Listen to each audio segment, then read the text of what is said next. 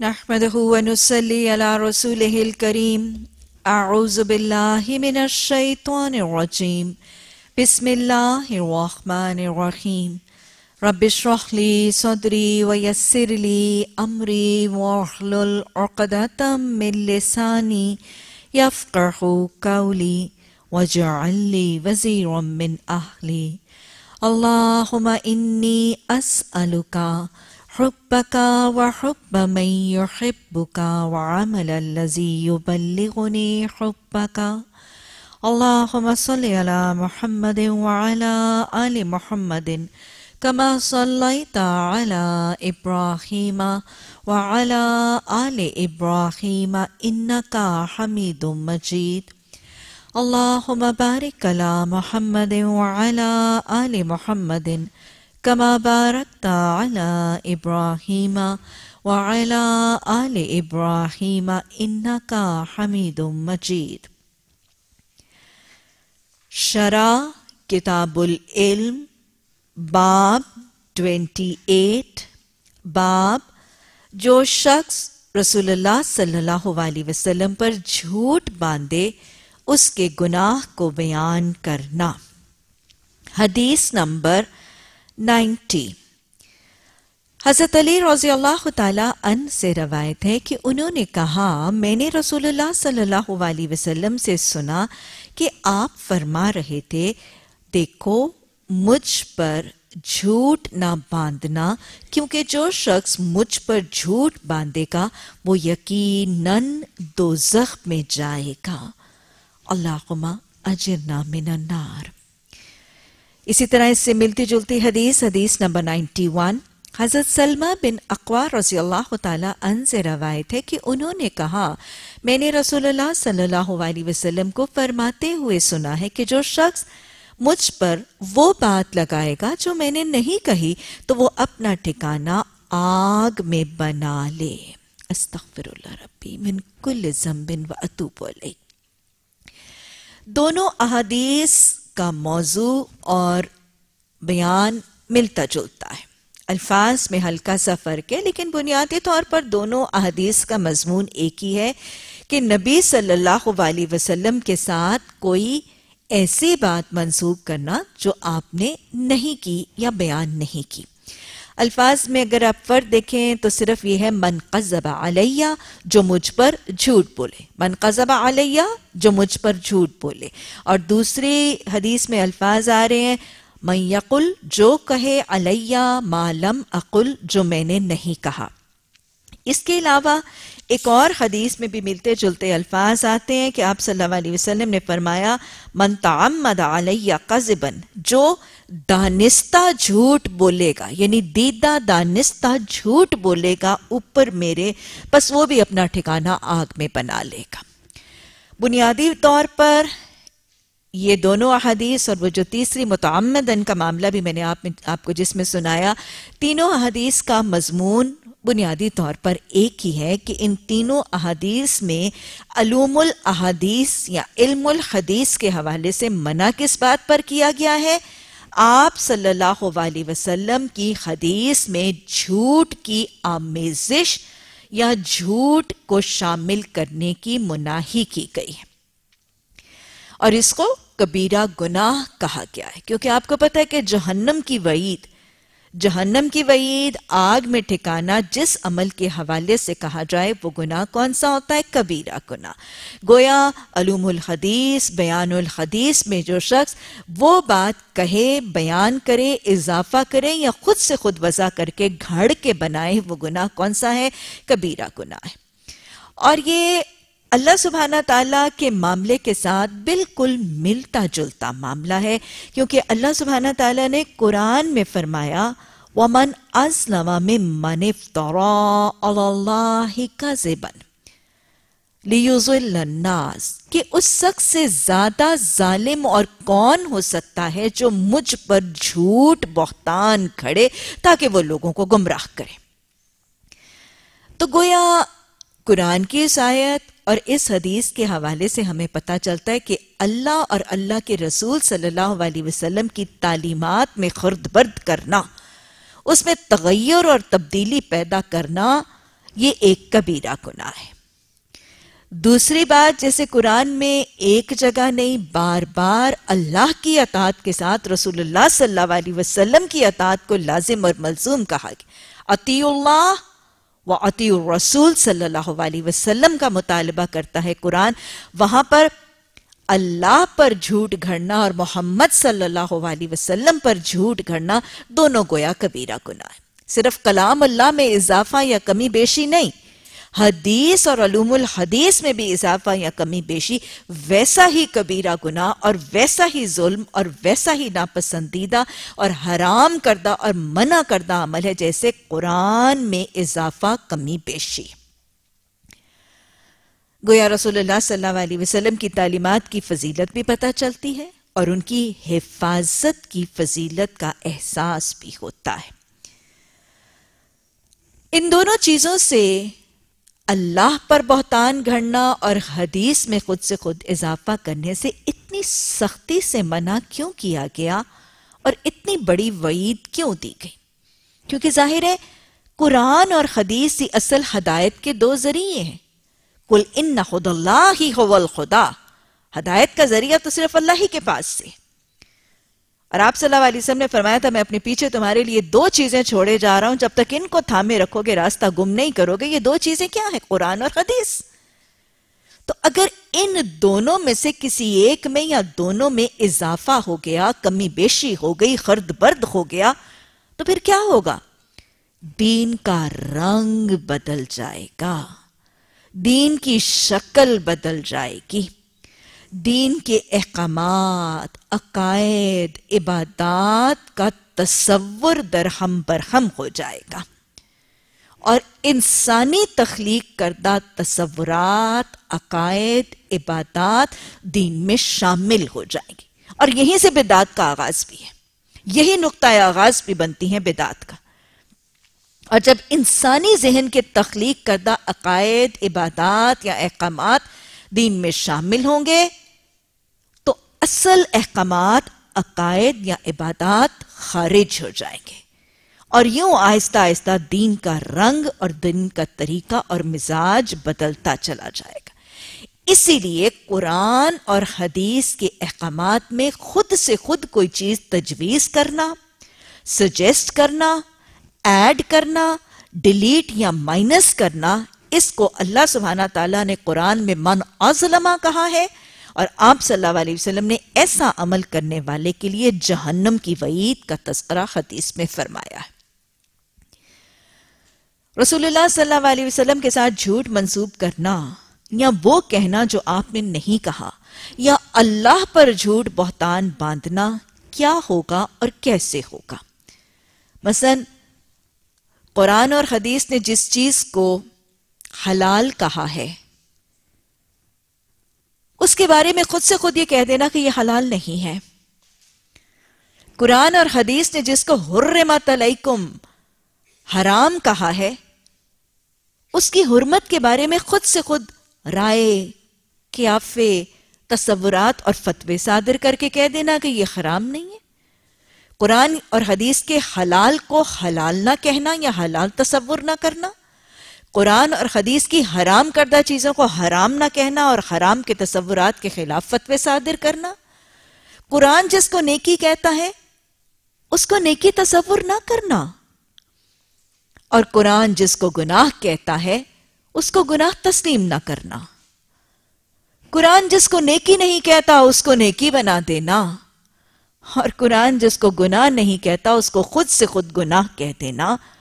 یہی اللہ اور اللہ کے رسول صلی اللہ علیہ وسلم پر افطرا ہے، جھوٹ کی آمیزش ہے جائز اور ناجائز کے تصورات کو من گھڑت طریقے سے بدل دینا۔ یہ سب کا سب اسی زمرے میں آنے والی چیز ہے۔ اتنی سختی سے دی جانے والی وعید کے حوالے سے ایک تو یہ پتا چلتا ہے کہ علوم الحدیث میں حفظ حدیث کا اہتمام کیا گیا۔ اتنی سخت وعید تھی اور یہ اس بات کی گواہی ہے۔ یہ احادیث مبارکہ، جو تینوں احادیث مبارکہ آپ پڑھ رہے ہیں، جب میں نے حفاظت حدیث اور اصول تدوین حدیث کی بات کی تھی، تب بھی میں نے یہ احادیث مبارکہ آپ کو کوٹ کر کے سنائی تھی۔ یہ حدیثیں اور اس کے ساتھ ملتی جلتی اور حدیثیں واضح طور پر گواہی دیتی ہیں اور ثبوت پیش کرتی ہیں حدیث کی حفاظت کا۔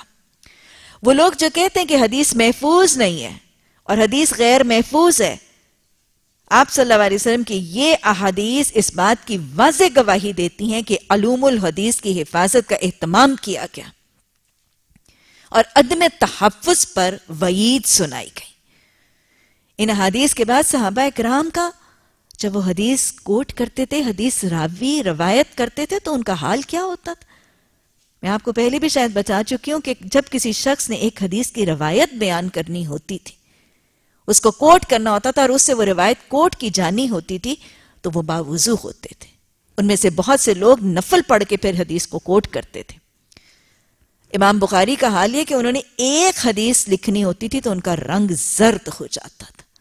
ان احادیث کی وعید کے خوف کی وجہ سے ان کی کیفیت یہ تھی کہ بہت زیادہ دھیان، بہت زیادہ توجہ، تحقیق اور تصدیق کے ساتھ، پوری حفاظت اور صداقت کے ساتھ وہ احادیث کو قلم بند کرتے تھے اور احادیث کی روایت کرتے اسی لیے حدیث محفوظ۔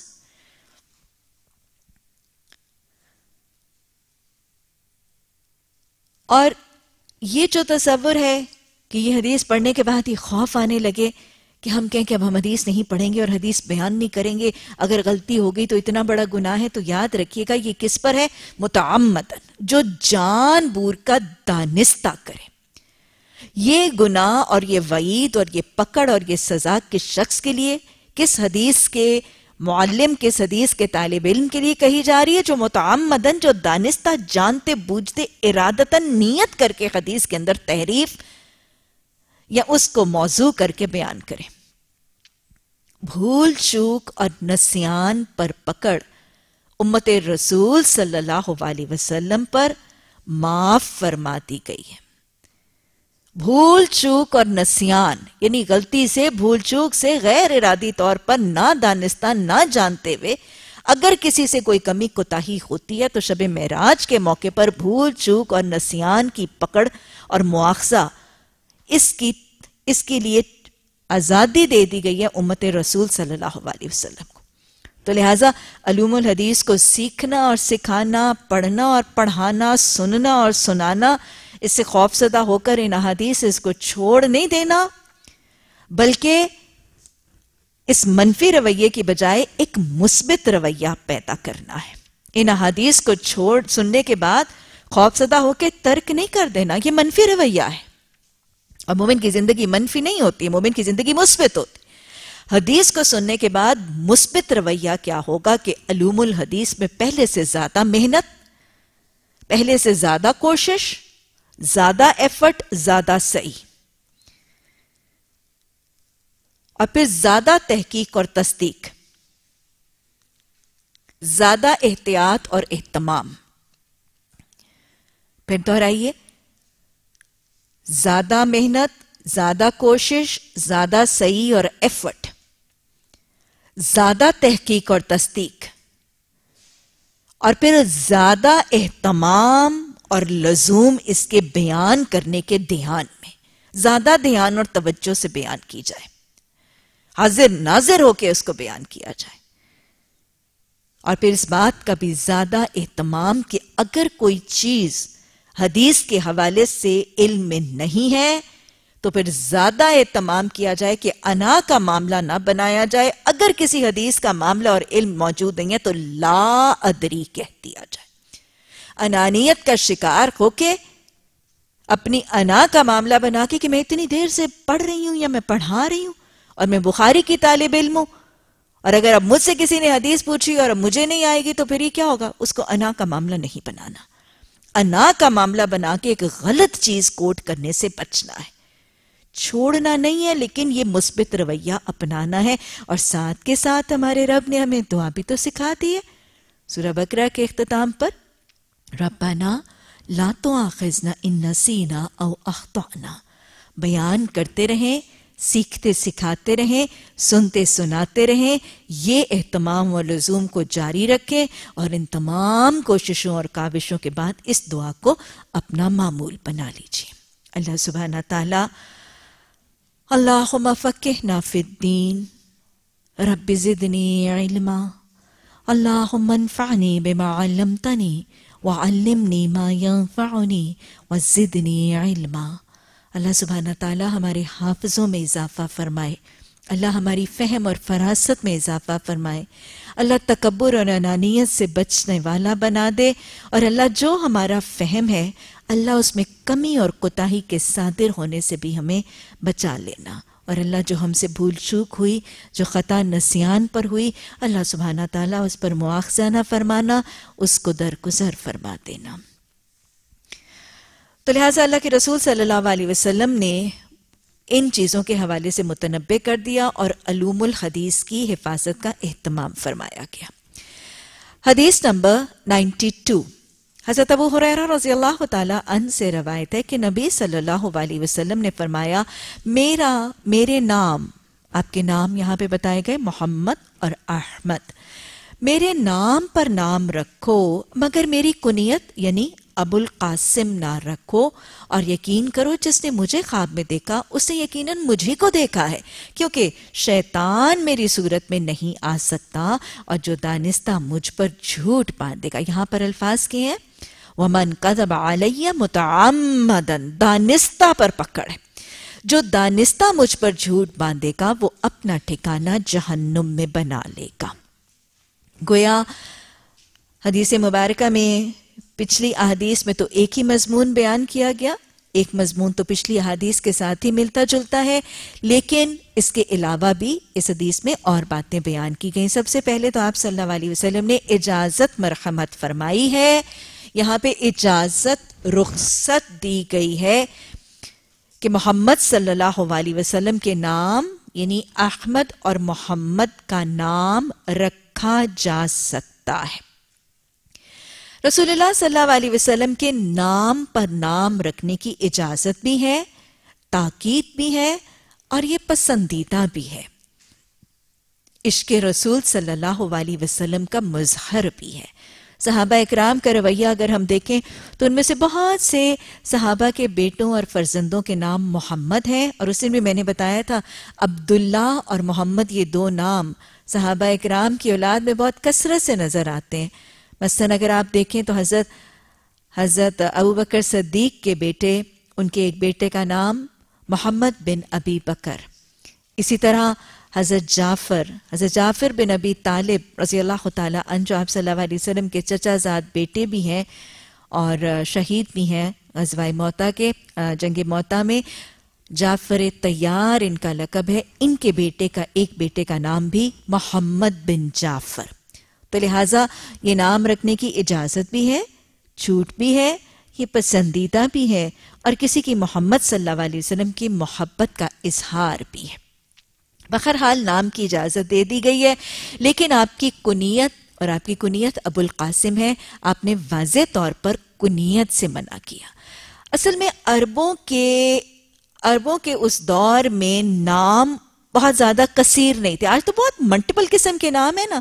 اس دور میں آپ دیکھیں تو ناموں کی جو فہرست اور ڈکشنری تھی وہ بہت تھوڑی اور بہت ہی مختصر سی تھی۔ اور وہی نام بار بار بار بار دہرائے جاتے تھے۔ بہت سے لوگوں کا ایک ہی نام تھا۔ اس دور میں پہچان آئیڈینٹیفیکیشن کا ذریعہ بنیادی طور پر کسی کی کنیت ہوا کرتا تھا۔ نام کے مقابلے میں کنیت زیادہ پہچان کا ذریعہ ہوتا تھا اور زیادہ تشخص اور اینٹٹی کا ذریعہ ہوتا تھا۔ اور کنیت بنیادی طور پر اولاد کے نام کے ساتھ ابو سلمہ، ابو داخدہ یہ اولادوں کے نام میں کسی لقب کے حوالے سے یہ کنیت کا تصور تھا اور وہ کنیت اس شخص کا، اس کے نام کے مطابلے میں اس کی زیادہ اینٹٹی اور اس کا تشخص کا اور اس کی پہچان کا ذریعہ تھا۔ تو آپ صلی اللہ علیہ وسلم نے اپنی کنیت رکھنے سے منع فرما دیا۔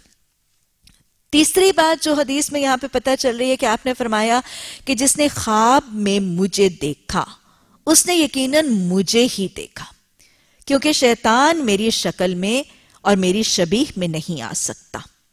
اس میں کوئی شک کی بات نہیں کہ آپ صلی اللہ علیہ وسلم الصادق، الامین، وہ جھوٹا، قاذب، بدبخت، نافرمان، سرکش آپ صلی اللہ علیہ وسلم کے خلیے مبارک اور آپ کی شبی میں نظر نہیں آ سکتا۔ اس میں کوئی شک اور شبے کی گنجائش نہیں۔ حدیث سے بتاتی کہ جو شخص یہ محسوس کرے کہ اس نے مجھے دیکھا ہے تو اس نے مجھے ہی دیکھا ہے۔ شیطان وہ شبی اپنا نہیں سکتا۔ رسول اللہ صلی اللہ علیہ وسلم کو خواب میں دیکھنے کے حوالے سے ایک بہت ہی گمدہ سا ایک تجربہ، ایک بہت ہی خوبصورت سا تجربہ ایک روح پرور، ایک ایمان، افروز سا تجربہ تو ضرور ہے۔ لیکن یہ یاد رکھیے گا کہ کسی شخص کے ساتھ یہ معاملہ ہو اور وہ اس چیز سے نوازا جائے تو اس کا اظہار کرنا یا اپنے تکبر یا اپنے تفاخر یا اپنے نیک ہونے کے حوالے سے یہ تذکرے کرتے پھرنا یہ کوئی پسندیدہ چیز نہیں ہوگی۔ ریا، دکھاوا، نمود و نمائش نیکی کا تکبر اور تفاخر جتانے کے لیے، تو نماز کو طویل کرنا پسندیدہ نہیں ہے۔ تو اگر کسی کا خواب مشاہدہ ہوا، تو اس کے تذکرے اور اس کے قصے کرنا اپنی نیکی کی شہرت اور چرچے اور ڈنکے بجانے کے لیے کوئی پسندیدہ عمل نہیں ہوگا۔ اللہ کو ریا اور تکبر پسند نہیں۔ بخر کیف، اگر کسی کو خواب میں رسول اللہ صلی اللہ علیہ وسلم کا نظارہ اور مشاہدہ ہوا ہے اور کوئی شخص کنفرم کرنا چاہتا ہے کیا یہ واقعی تھا؟ تو اس کے حوالے سے کسی صاحب علم سے باہر کیف رجوع کیا جا سکتا ہے۔ اور اگر کوئی پوچھنے والا پوچھے کہ مجھے اس حلیے کی ایک مشاہدہ ہوا ہے تو کیا یہ واقعی رسول رحمت صلی اللہ علیہ وسلم ہے؟ تو اس کو کنفرم کرنے کے لیے ترمزی میں ساحِ ستہ کی جو ایک والیومز ہیں ترمزی میں، شمائل ترمزی۔ رسول اللہ صلی اللہ علیہ وسلم کا خلیہ مبارک شمائل ترمزی میں بڑی وضاحت سے بیان کیا گیا۔ تو اگر کوئی شخص اس چیز کو کنفرم کرنا چاہتا ہے کہ رسول رحمت صلی اللہ علیہ وسلم ہی تھے جن کو دیکھا گیا، تو شمائل ترمزی سے رجوع کیا جا سکتا ہے۔ اور اگر کسی صاحب علم سے بھی پوچھا جائے، تو وہ بھی اس چیز کی کنفرمیشن اپنے اپنے شمائل ترمزی ہی کے علم کے حوالے سے کر سکتا ہے۔ ویسے مجھے یاد ہے کہ میرے پاس ایک خاتون آئی اور انہوں نے کہا کہ میں نے، مجھے خواب میں ایسی کیفیت ہے کہ مجھے لگتا ہے کہ میں نے آپ صلی اللہ علیہ وسلم کو دیکھا ہے۔ اگر آپ کو کوئی کہے تو بس اس پہ خاموش رہنا بہتر اچھا آپ نے دیکھا ہے، آپ کو لگ رہا ہے۔ وہ اب بزت نہیں کہ مجھے بتائیے کہ میں نے دیکھا ہے کہ نہیں۔ میں نے ان سے پوچھا، میں نے کہا اچھا، چاہے مجھے بتائیں کہ آپ نے کس حلیے مبارک کی کیفیت سے آپ کو لگ رہا تھا کہ وہ رسول رحمت صلی اللہ علیہ وسلم ہے تو انہوں نے کہا کہ وہ شخص جس کے بارے میں مجھے یہ لگ رہا تھا کہ وہ آپ صلی اللہ علیہ وسلم کی ذات اقدس ہیں، ان کے وہ بارش تھے اور ان کی لمبی سی سفید داڑھی تھی۔ حالانکہ شمائل ترمزی میں رسول اللہ صلی اللہ علیہ وسلم کے شبی مبارک میں لمبی سی سفید داڑھی کا تذکرہ موجود نہیں۔ تو لہٰذا بہر کیف یہ رائے ضرور دی جا سکتی ہے، لیکن یہ معاملہ بندہ اس کے اوپر ہی چھوڑ دے تو بہتر ہے۔ اور ویسے اس کی تشہیر کرنا اور اعلان کرنا اپنی نیک نامی کے تذکرے پھیلانے کے لیے کوئی پسندیدہ عمل نہیں ہوگا۔ کچھ وظائف کی کتابوں میں کچھ وظیفے اور کچھ خاص قسم کے درود مذکور ملتے ہیں کہ اگر یہ خاص ورد اور خاص وظیفے کی شکل میں کیے گئے تو دیدار رسول صلی اللہ علیہ وسلم نصیب ہوگا۔ یاد رکھیے گا، کسی حدیث کے حوالے سے ایسے وظائف اور ورد کا حوالہ نہیں ملتا۔ یعنی کسی حدیث مبارکہ میں آپ صلی اللہ علیہ وسلم نے کسی خاص آیت کے پڑھنے، کسی خاص درود کے پڑھنے یا کچھ خاص کلمات کے پڑھنے اور ان کا ورد کرنے پر یہ نہیں فرمایا یا یہ نہیں بتایا کہ یہ کرنے سے میرا دیدار خواب میں نصیب ہوگا۔ لہٰذا یہ سارے کے سارے وظائف یا یہ سارے کے سارے جو درود پڑھنے کے لیے، دیدار کے لیے تجویز کیے جاتے ہیں، یہ مسنون نہیں ہے، یہ سنت اور حدیث سے ثابت نہیں ہے۔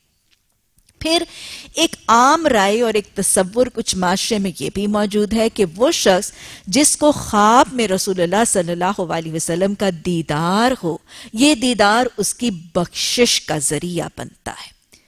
کسی حدیث مبارکہ میں یہ حوالہ بھی موجود نہیں ہے۔ دیدار رسول صلی اللہ علیہ وسلم کا خواب میں ہونا ایک بڑا ایمان افروز معاملہ تو ہو سکتا ہے، لیکن اس کا بخشش کا ذریعہ ہونے کا تذکرہ حدیث میں موجود نہیں۔ تو اگر یہ تصور قائم کیا جائے گا تو یہ کیا ہوگا؟ یہ رسول اللہ صلی اللہ علیہ وسلم پر متعمدن قذب اور جھوٹ کا معاملہ ہوگا۔ حدیث کی تعلیمات سے یہ چیز ثابت نہیں۔ اور میرا خیال ہے بڑی لاجیکل سی بات ہے۔ یہ کہہ دینا کہ خواب کے دیدار کی بنیاد پر بخشش کا معاملہ ہے، یہ کیسے ممکن ہے؟ آپ دیکھیں کہ حیات طیبہ میں رسول اللہ صلی اللہ علیہ وسلم کی زندگی میں بہت سے کافر ابو لہب نے، ابو جہل نے عدبہ بن شیبہ نے آپ کو خواب میں نہیں، آپ کو اپنی آنکھوں سے پڑھی نہیں دیکھا، لیکن ان کے لیے بخشش کے وعدے موجود نہیں ہیں۔ تو محض دیدار خواب میں یہ بخشش کا ذریعہ نہیں بن سکتا۔ بخشش کا ذریعہ تو عطی اللہ و عطی الرسول صلی اللہ علیہ وسلم ہی بنے گا۔ بخرحال آپ صلی اللہ علیہ وسلم نے اس حوالے سے فرمایا اور پھر آپ نے فرمایا، جو مجھ پر دانستہ جھوٹ بولے گا۔ دانستہ کا مطلب ایک تو بول جھوٹ رہا ہے اور دوسرا اس کی نیت، اس کا ارادہ، اس کی پلاننگ ہے۔ بھول چوک سے نہیں ہوا، نسیان اور خطا سے نہیں ہوا، لا علمی اور کمی سے نہیں ہوا۔ دانستہ اس نے محمد صلی اللہ علیہ وسلم کی حدیث میں یا اضافہ فرمایا، یا کمی فرمائی، یا رد و بدل کی، یا خود سے خود کوئی چیز وضع کر کے تجویز کرتی تو اس کے لیے بھی جہنم کی وعید بتائی جا رہی۔ ایک گروہ ایک گروہ موجود ہے۔ کرامی گروہ جو ہے وہ موجود ہے۔ کرامیہ فرقہ، ایک فرقہ، کرامیہ فرقہ موجود ہے جن کی رائے۔ پہلی حدیث میں الفاظ یہ تھے کہ جس شخص نے مجھ پر جھوٹ باندھا وہ یقیناً دوزخ میں جائے گا۔ یہ کرامیہ فرقہ ایک فرقہ ہے جن کے نزدیک یہ تصور ہے۔ اسی حدیث کے حوالے سے کہ یہ کہا گیا جو محمد صلی اللہ علیہ وسلم کی تعلیمات میں جھوٹ کا اضافہ کرے گا، اس کے لیے وعید دی جا رہی ہے۔ اس فرقے کے نزدیک ترغیب یا ترغیب کے لیے، ترغیب کا مطلب رغبت دینا اور ترغیب مطلب ڈرانے کے لیے، خوف زدہ کرنے کے لیے، خود سے خود حدیث کو وضع کرنے کا تصور اس فرقے کے نزدیک جائز ہے۔ یہ کہتے ہیں کہ اگر تعلیمات میں تغیر نہ کیا جائے، جیسے آپ دیکھیں کہ رضات کے لیے حکم ہے کہ رضات کروائی جائے گی، تاکید ہے کہ رضات کروائی جائے گی۔ قرآن کا حکم بھی ہے، حدیث کا حکم بھی ہے، اور اس کی پسندیدگی میں اجر کا وعدہ بھی ہے۔ تو یہ فرقہ ان کے نزدیک یہ کہ اسی حکم کو، حکم کی نوعیت کو چینج کیے بغیر اسی حکم کو مزید راغب کرنے کے لیے، مزید نہ کرنے والوں کو خوفزدہ کرنے کے لیے اگر خود سے خود اسی مضمون کے حوالے سے کوئی حدیث بنا دی گئی، تو ان کے نزدیک یہ جائز ہے۔ اور وہ کہتے ہیں کہ یہاں پہ جھوٹ باندھنے کا تصور یہ ہے کہ آپ صلی اللہ علیہ وسلم کی تعلیمات کے برخلاف کوئی بات کرنے کی ممانعت کی گئی ہے، لیکن اگر آپ ہی کے مضامین کے مطابق کوئی چیز گھڑی جائے گی تو وہ جھوٹ نہیں ہوگا اور وہ کرنا جائز ہے۔ حالانکہ معاملہ ایسا نہیں ہے۔ آپ دیکھیں اگر اگلی حدیثی کو دیکھا جائے، وہ تو جواز یہی کہتے ہیں کہ جھوٹ تو تب ہوگا کہ جو بات آپ نے منع نہیں کی، اس سے منع کریں ہماری حدیث۔ لیکن اگر آپ اگلی حدیث کے الفاظ دیکھیں تو اس میں الفاظ یہ ہیں، جو دانستہ جھوٹ بولے یا جو وہ چیز کہے جو محمد صلی اللہ علیہ وسلم نے نہیں کہی۔ جب دوسری حدیث کا ہم مطالعہ کرتے ہیں تو اس کے الفاظ کیا ہیں؟ اس کے الفاظ کیا ہیں کہ جو وہ بات کہے جو محمد صلی اللہ علیہ وسلم نے نہیں کہی تو وہ ٹھکانہ آگ میں بنائے گا۔ تو گویا ان تمام احادیث کے حوالے سے اگر تینوں کی تینوں احادیث کو ملا کر دیکھا جائے تو ترغیب یا ترہیب کے لیے بھی کسی قسم کا کوئی تصور موجود نہیں ہے خود سے خود حدیث گھڑ کے وضع کرنے کا۔ یہ کرامی فرقہ اگر یہ تصور کریٹ کر رہے ہیں تو کوئی تصور موجود نہیں۔ جتنی تنبی جتنی ترغیب اور جتنی ترغیب حدیث کے لیے دلوا دی گئی ہے، وہ اس حکم کے لیے کافی ہے۔ خود سے خود کسی کے پاس یہ اختیار نہیں ہے کہ وہ الفاظ چاہے نیک نیتی ترغیب بھی کی ہو، وہ کرنا شریعت کا طریقہ نہیں ہے۔ اللہ سبحانہ تعالی ہمیں ان احکامات کو سمجھنے اور اللہ کسی قسم کی کجی زد اور ٹیڑ سے بچنے کی توفیق عطا فرمائے۔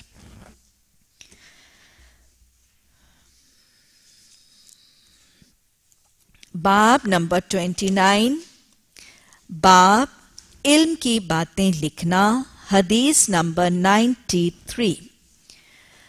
حضرت ابو حریرہ رضی اللہ تعالیٰ ان سے روایت ہے کہ بے شک رسول اللہ صلی اللہ علیہ وسلم نے فرمایا اللہ تعالیٰ نے مکہ سے قتل یا ہاتھی کو یعنی فیل کو روک دیا اور رسول اللہ صلی اللہ علیہ وسلم اور اہل ایمان کو ان کافروں پر غالب کر دیا۔ خبردار، مکہ مجھ سے پہلے کسی کے لیے حلال نہیں ہوا اور نہ میرے بعد کسی کے لیے حلال ہوگا۔ خبردار، یہ میرے لیے بھی دن میں بس ایک گھڑی کے لیے حلال ہوا تھا۔ خبردار، وہ اس وقت بھی حرام ہے۔ وہاں کے کانٹے نہ کاٹے جائیں گے، نہ اس کے درخت قطع کیے جائیں گے۔ اعلان کرنے والے کے علاوہ وہاں کی گری ہوئی کوئی چیز نہ اٹھائے گا، جس کا کوئی عزیز مارا جائے گا، اس کو دو میں سے ایک کا اختیار ہے۔ دیت قبول کر لے یا قصاص لے لے۔ اتنے میں ایک یمنی شخص آیا اور اس نے عرض کیا، یا رسول اللہ صلی اللہ علیہ وسلم، یہ مسائل مجھے لکھ دیجیے گویا آپ نے خطبے میں کافی سے مسائل حرم کی حرمت کے حدود کے حوالے سے یہ بتائے۔ تو شخص نے کہا یہاں پہ صرف یمنی شخص کہا جا رہا ہے، ایک اور حدیث میں اس شخص کا نام ابو شاہ بتایا کہ ایک یمنی شخص جس کا نام ابو شاہ تھا، اس نے عرض کیا کہ رسول اللہ صلی اللہ علیہ وسلم، یہ مسائل مجھے لکھ دیجیے۔ آپ نے فرمایا، ابو شاہ، ابو فلاں کو لکھ دو۔ قریش کے ایک شخص نے عرض کیا، یا رسول اللہ صلی اللہ علیہ وسلم، مگر اصغر خاص۔ کیا آپ نے تو کہا تھا نا، نہ کوئی درخت کاٹا جائے گا، نہ کوئی کانٹے کاٹے جائیں گے۔ تو پھر ایک شخص نے کہا کہ، یا رسول اللہ صلی اللہ علیہ وسلم، ہر گھاس اور ہر درخت کے نہ لکھنے کے لیے نہ حکم لکھیے، صرف اصغر گھاس کاٹنے کی اجازت دے دیجیے خوشبودار گھاس کے کانٹے کاٹنے کی اجازت دے دیجیے کیوں؟ کیونکہ اس سے ہم اپنے گھروں اور قبروں میں استعمال کرتے ہیں۔ تو آپ نے فرمایا ہاں ازغر مگر ازغر یعنی وہ کاٹ سکتے ہو۔ طویل حدیث ہے۔ رسول رحمت صلی اللہ علیہ وسلم کے حوالے سے یہ مدینہ کا دور ہے، جس کے حوالے سے حضرت ابو حریرہ رضی اللہ تعالیٰ عنہ کے یہ الفاظ حدیث کے ہم تک پہنچ رہے ہیں۔ آپ صلی اللہ علیہ وسلم فرما رہے ہیں اصل میں اس کے پیچھے ایک واقعہ بھی ہے اور واقعہ کچھ یوں ہوا کہ بنی لیس کا ایک عربی قبیلہ تھا۔ انہوں نے حرم کی حدود میں ایک اور شخص کو قتل کر دیا۔ بنی نیس کے قبیلے کے شخص نے ایک دوسرے قبیلے کے مرد کو حرم کی حدود کے اندر قتل کر دیا۔ جواب صلی اللہ علیہ وسلم کو حدود حرم میں قتل کے حوالے سے خبر دی گئی۔ تو آپ صلی اللہ علیہ وسلم نے حدود حرم کے اندر قتال اور قتل کو روکنے کی اہمیت کو ثابت کرنے کے لیے خطبہ ارشاد فرمایا۔ آپ صلی اللہ علیہ وسلم نے حدود حرم میں قتال کی حرمت کتنی زیادہ ہے اور قتل کرنا، قتل، رہزنی، ڈکیتی، لوٹ، مار کرنا کتنا زیادہ ناپسندیدہ ہے۔ اس کے لیے آپ صلی اللہ علیہ وسلم نے واقعہ فیل کا حوالہ دیا۔ واقعہ فیل سورہ الفیل اس کے حوالے سے نازل ہوئی۔ علم تر فعال ربک باصحاب الفیل؟ علم یجعل قیدہم فی ترذیل وأرسل عليهم طيرا أبابيل ترميهم بحجارة من سجيل فجعلهم كعصف مأكول۔ سورہ فیل میں اللہ سبحانہ تعالیٰ نے وہ پورا اصحاب فیل کا واقعہ بیان کیا۔ فیل عربی زبان میں ہاتھی کو کہتے ہیں۔ یہ واقعہ اگر مختصراً انشاءاللہ سورہ فیل کی وضاحت میں ہم زیادہ وضاحت سے یہ واقعہ پڑھیں گے اس کی تفسیر میں، لیکن بنیادی طور پر یہ حبشہ کا ایک عیسائی حکمران تھا، ابراہ۔ اس نے جب یہ دیکھا کہ خانہ کعبہ کی طواف کے لیے اتنے دور دراز سے لوگ آتے ہیں اور یہ عرب کے لوگوں کے لیے ایک بہت بڑا مال کمانے کا ذریعہ بھی ہے، تو اس نے خانہ کعبہ کے ہم پلہ ایک اور عمارت بنانے کی نیت سے ایک بہت خوبصورت اپنا عبادت خانہ اور محبت بنایا۔ بہت اونچا، بڑا سا، خوبصورت سا اور بہت ہی گرینڈ سا ایک محبت بنایا۔ اور اس کے دل میں یہ خواہش پہلے مکہ والوں کو اس نے کہا کہ اب حرم کے بجائے لوگ یہاں کا حج کریں۔ ظاہر یہ قریش کہاں مانتے تھے اور اب کہاں سے اس چیز کو ماننے کو تیار تھے؟ انہوں نے صاف انکار کر دیا۔ بہرحال ابراہ کے دل میں یہ خواہش بڑھتی اور آرزو بڑھتی چلی گئی کہ کاش لوگ حرم اور خانہ کعبہ کے بجائے میرے بنائے ہوئے، میرے بنائے ہوئے اس عبادت خانے کی زیارت کے لیے آئیں اور اس کا طواف اور اس کے چکر کاٹے جائیں۔ اس نے ہر کوشش کر دیکھی لیکن اس کی ساری کوششیں اقارت گئیں۔ الٹیمیٹلی اس نے انشاءاللہ وہ کیسے ہوا، ساری ایک سازش بنائی اور پھر اس نے جواز حاصل کر لیا خانہ کعبہ پر حملہ کرنے کا۔ خانہ کعبہ کو منحدم کرنے یعنی اس کو ڈھانے کی نیت سے اس نے خانہ کعبہ پر حملے کے لیے ایک لشکر تیار کیا اور بہت بڑا لشکر تھا۔ بہت بڑا لشکر تیار کیا ہے سبراہ نے اور اس میں بہت سے ہاتھی بھی اس لشکر میں شامل تھے۔ اس نے مشکین مکہ کو خاص طور پہ قریش کو یہ بات وان کر دی کہ میرا قتل اور راہزنی کرنا یا قتل لوٹ مار کرنا میرا مقصد نہیں ہے۔ میرا مقصد صرف خانہ کعبہ کی عمارت کو منہدم کرنا ہے۔ قریش مکہ کو جب اس بات کا پتہ چلا تو انہوں نے ہمیں روایات اور تاریخ میں پتہ چلتا ہے کہ انہوں نے خانہ کعبہ کے پردوں کو اور غلاف کو تھام تھام کے رب کعبہ کی دعائیں کی تھی کہ رب کعبہ تو اپنے گھر کی حفاظت خود ہی کر۔ اور یہ مکہ کی بستی کو، یہ قریش اور پورے کے پورے مکہ کے آباد کار یہ مکہ کی بستی کو چھوڑ کر اپنے اہل و ایال اپنے بیوی بچوں، اپنے سب رشتہ داروں سمیت یہ مکہ کی بستی کو خالی کر کے مکہ چھوڑ کر نکل گئے تھے۔ ابراہ کے لشکر کے خوف زدہ ہو کر یہ سب کے سب، اللہ سبحانہ تعالیٰ کو یہ واسطہ دے کر کہ گھر تیرا ہے، تو خود ہی اپنے گھر کی حفاظت کرنا۔ یہ خانہ کعبہ کو چھوڑ کر، مکہ کی بستی کو خالی چھوڑ کر، مکہ کو ایویکویٹ کر کے یہ سببز میں منتقل ہو گئے تھے۔ ابراہ نے روایات میں پتہ چلتا ہے کہ ابراہ نے جس دن حملے کی نیت اور ارادے کے لیے مکہ کے قریب ہی اس نے پڑاؤ کیا ہوا تھا۔ اور جس دن اس نے ارادہ اور نیت کی کہ یہ اب مکہ پر حملہ آور ہوگا، تو ان کے جو بڑے بڑے، سب سے بڑا جو اس کا ہاتھی تھا، اس کو ہاتھیوں کے لشکر کے آگے لگایا گیا۔ وہ ہاتھیوں کا سردار، اس کا نام محمود بتایا جاتا ہے تاریخ میں۔ اس کو جب چلایا گیا، وہ ہر سمت چلتا تھا، لیکن خانہ کعبہ کی سمت نہیں چلتا تھا۔ باقی ساری جانب وہ محمود اپنا رخ کرتا تھا، اس کو مارا گیا، اس کو کچوکے لگائے گئے، اس کے اوپر نیزے لگائے گئے، لیکن وہ ہر رخ چلتا تھا، ہر سمت کی طرف چلتا تھا، صرف خانہ کعبہ کی سمت کی طرف ممو نہیں کرتا۔ اور پھر وہ جب مڑ کے بھاگا اور باقی سارے کے سارے ہاتھی بھی مڑ کر بھاگے، تو اس سے بہت سا لشکر اور بہت سے لشکر کے سپاہی تو ان ہاتھیوں کے پاؤں تلے روندے گئے۔ اور یہ جب بھگدڑ مچی اس لشکر میں، تو اسی وقت وہ ابابیل چھوٹے چھوٹے پرندے پتہ نہیں کہاں سے اللہ کے حکم سے وہ آئے اور اللہ سبحانہ تعالیٰ کے حکم سے انہوں نے چھوٹی چھوٹی کنکریاں ان کی چونچوں میں تھیں اور وہ کنکریاں جب پھینکتے چلے جاتے تھے وہ پرندوں کے جھنڈ تھے ابابیلوں کے اور مافوق الفطرت سے پرندے تھے جن کے بارے میں نہ اس سے پہلے کبھی کسی نے دیکھا نہ اس کے بعد اللہ کے حکم سے یہ پرندے آئے اور چھوٹی چھوٹی نوکیلی کنکریاں تھیں جو یہ پھینکتے جاتے تھے۔ اور ہمیں روایات اور تاریخ میں پتہ چلتا ہے کہ یہ کنکریاں جس جس کی کھال کے جس حصے پر لگتی تھیں، وہیں پہ اس کو وہ کھجانے لگتے تھے۔ اریٹیشن ہوتی تھی اور خارش وغیرہ ہوتی تھی، وہ وہاں پہ کھجانے لگتے تھے۔ کھجانے سے اس علاقے میں ورم ہوتا تھا اور کھجانے سے وہ کھال وہاں پہ پھٹ جاتی تھی، چھل جاتی تھی، پانی خون ریسنے لگتا تھا اور اتنا شدید زخم کہ انہی زخموں کی تاب نہ لاتے ہوئے پورے کا پورا لشکر خلاق ہو گیا۔ اس پورے لشکر کے سپاہیوں میں سے، ابراہ کے لشکر کے سپاہیوں میں سے کوئی ایک شخص بھی نہیں بچا تھا۔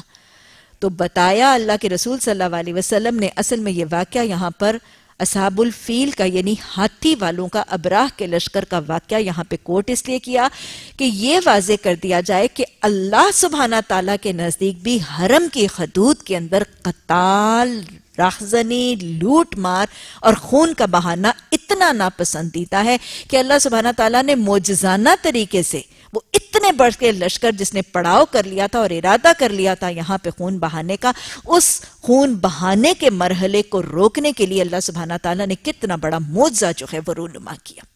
یہ واقعہ اس حدیث میں یہاں پہ رسول اللہ صلی اللہ علیہ وسلم نے حرمت حدود حرم کی اہمیت اللہ کے نزدیک کتنی ہے اس کو واضح کرنے کے لیے یہاں پہ اس کو بیان کیا گیا۔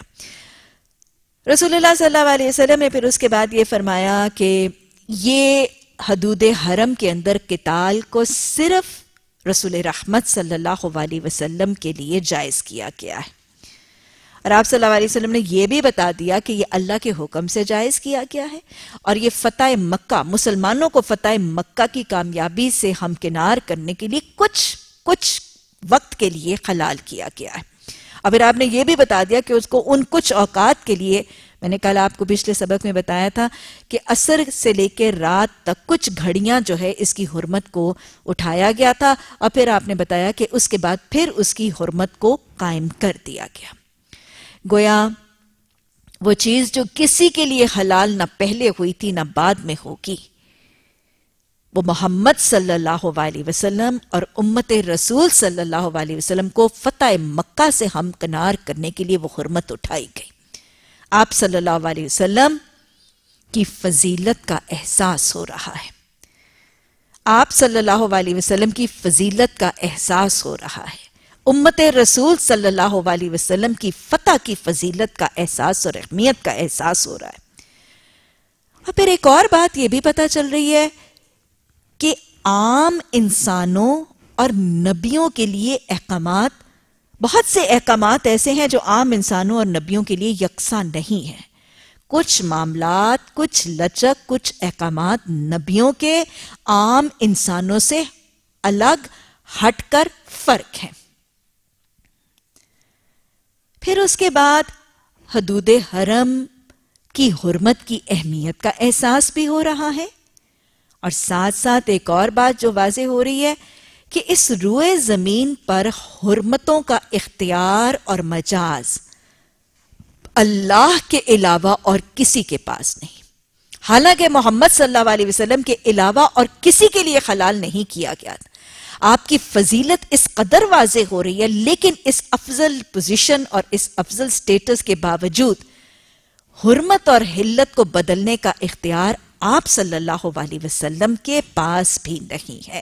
اللہ کے حکم سے جتنی دیر جب جہاں جتنی دیر اللہ نے چاہا تھا یہ حرمت اٹھی اور جب چاہا اللہ نے اس کو پلٹا دیا، اس کا اختیار رسول رحمت صلی اللہ علیہ وسلم کے پاس نہیں تھا۔ اللہ حلال، حرام اور حدود اللہ کا احترام کرنے کی توفیق عطا فرمائے اور اللہ سبحانہ تعالیٰ ان حرمتوں کا اور ان حلتوں کا حکم اور علم بھی ہمیں سمجھ اور اس کا فہم عطا فرمائے۔ ایک اور بات پتہ چل رہی ہے کہ حدود حرم کے احکامات، پھر باقی زمین کے احکامات کے حوالے سے کچھ معاملات میں فرق ہے۔ حرم کے حدود کے احکامات یا زمین حرم کے احکامات عام زمین کے ٹکڑوں کے حوالے سے باقی کچھ معاملات میں فرق ہے۔ باقی زمین کے کسی ٹکڑے پر حدود حرم کے علاوہ اور کسی زمین کے ٹکڑے پر کتال منع نہیں ہے اللہ یہ کہ وچار حرمت والے مہینوں میں۔ لیکن یہ اس حد میں سارا سال منع ہے، ہر وقت منع ہے۔ اسی طرح آپ دیکھیں کہ سجدے کے مکرو اوقات، تین اوقات سجدے کے لیے مکرو ہیں۔ نماز فجر کے بعد جب تک سورج اچھی طرح طلوع نہ ہو جائے، زوال آفتاب کے وقت اور ادھر سے اثر کی نماز کی ادائیگی کے بعد جب تک سورج مکمل طریقے سے غروب نہ ہو جائے۔ یہ تین اوقات سجدوں کے لیے مکرو ہیں۔ ساری روئے زمین پر مکرو ہیں، لیکن خانہ کعبہ میں یہ مکرو ہونے کا معاملہ نہیں ہے۔ خانہ کعبہ میں، حرم کے مطاف میں، خانہ کعبہ کے سہن میں اور خانہ کعبہ کی عمارت میں یہ سجدہ سارا دن ہر وقت ہر گھڑی جائز ہے۔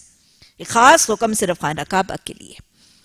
اور زمین کے کسی ٹکڑے پر یہ معاملہ نہیں اسی طرح ہمیں حدیث سے یہ بھی پتا چلتا ہے کہ آپ صلی اللہ علیہ وسلم نے فرمایا، صرف تین مسجدیں اس روئے زمین پر ایسی ہیں جن کی طرف زیادہ ثواب کی نیت سے سفر کرنے کی اجازت موجود ہے۔ اس کے علاوہ کسی اور مسجد، چاہے وہ مسجد کتنی بڑی ہے، چاہے وہ مسجد کتنی خوبصورتی، چاہے وہ مسجد کتنی تاریخی اہمیت کی حامل ہے اس نیت سے اگر اس مسجد کی طرف بادشاہی مسجد کی طرف کسی بڑی سے بڑی مسجد کی طرف اگر اس نیت سے سفر کیا کہ وہاں جا کے پڑھیں گے تو زیادہ ثواب ہوگا، تو یہ تصور حدیث میں موجود ہے۔ صرف تین مسجدیں ایسی ہیں جن کی طرف زیادہ ثواب کی نیت سے سفر کرنا جائز ہے۔ خانہ کعبہ، مسجد الحرام، مسجد نبوی اور مسجد اقسا یعنی بیت المقدس۔ خانہ کعبہ یعنی مسجد حرام، مسجد نبوی اور مسجد اقسا اسے مسجد اقسا اس لیے کہا جاتا تھا کیونکہ مدینہ اور مکہ سے یہ دور تھی۔ دور کا کنارہ قاف، سواد، واو، دور، پرے، پرلا کنارہ۔ یاد رکھیے گا۔ اور پھر دوسری بات خانہ کعبہ، ان تین میں سے خانہ کعبہ کے اندر پڑھی جانے والی نماز کا اجر، ایک نماز کا اجر ہزار نمازوں کے برابر ہے۔ یہ اجر کا وعدہ بھی اور باقی اس روئے زمین پر کسی مسجد کے لیے موجود نہیں۔ تو یہ کچھ احکامات میں فرق ہے جو خانہ کعبہ، مسجد حرام یا حدود حرام کے حوالے سے باقی روئے زمین اور باقی مسجدوں کے حوالے سے ممتاز ہے لیکن اس میں یہ یاد رکھیے گا حالانکہ ایک نماز کا اجر تو بہت زیادہ بڑھا چڑھا کر ہے، لیکن یہ بڑا چڑھا اجر فرض نمازوں کا کفارہ بہرحال پھر بھی نہیں ہوگا۔ ایک نماز کا اگر اجر مسجد حرام میں ایک ایک نماز کا اجر کئی کئی نمازوں کے برابر ہوگا، لیکن اس کے باوجود یہ فرض نمازوں کی کمی اور قطعی کا کفارہ پھر بھی نہیں بنے گا۔ رب جعلنی مقیم الصلاة و من ہاں جی اس کے بعد اللہ کے رسول صلی اللہ علیہ وسلم نے حدود حرم میں کن کن چیزوں کا تذکرہ کیا جو حرام ہیں؟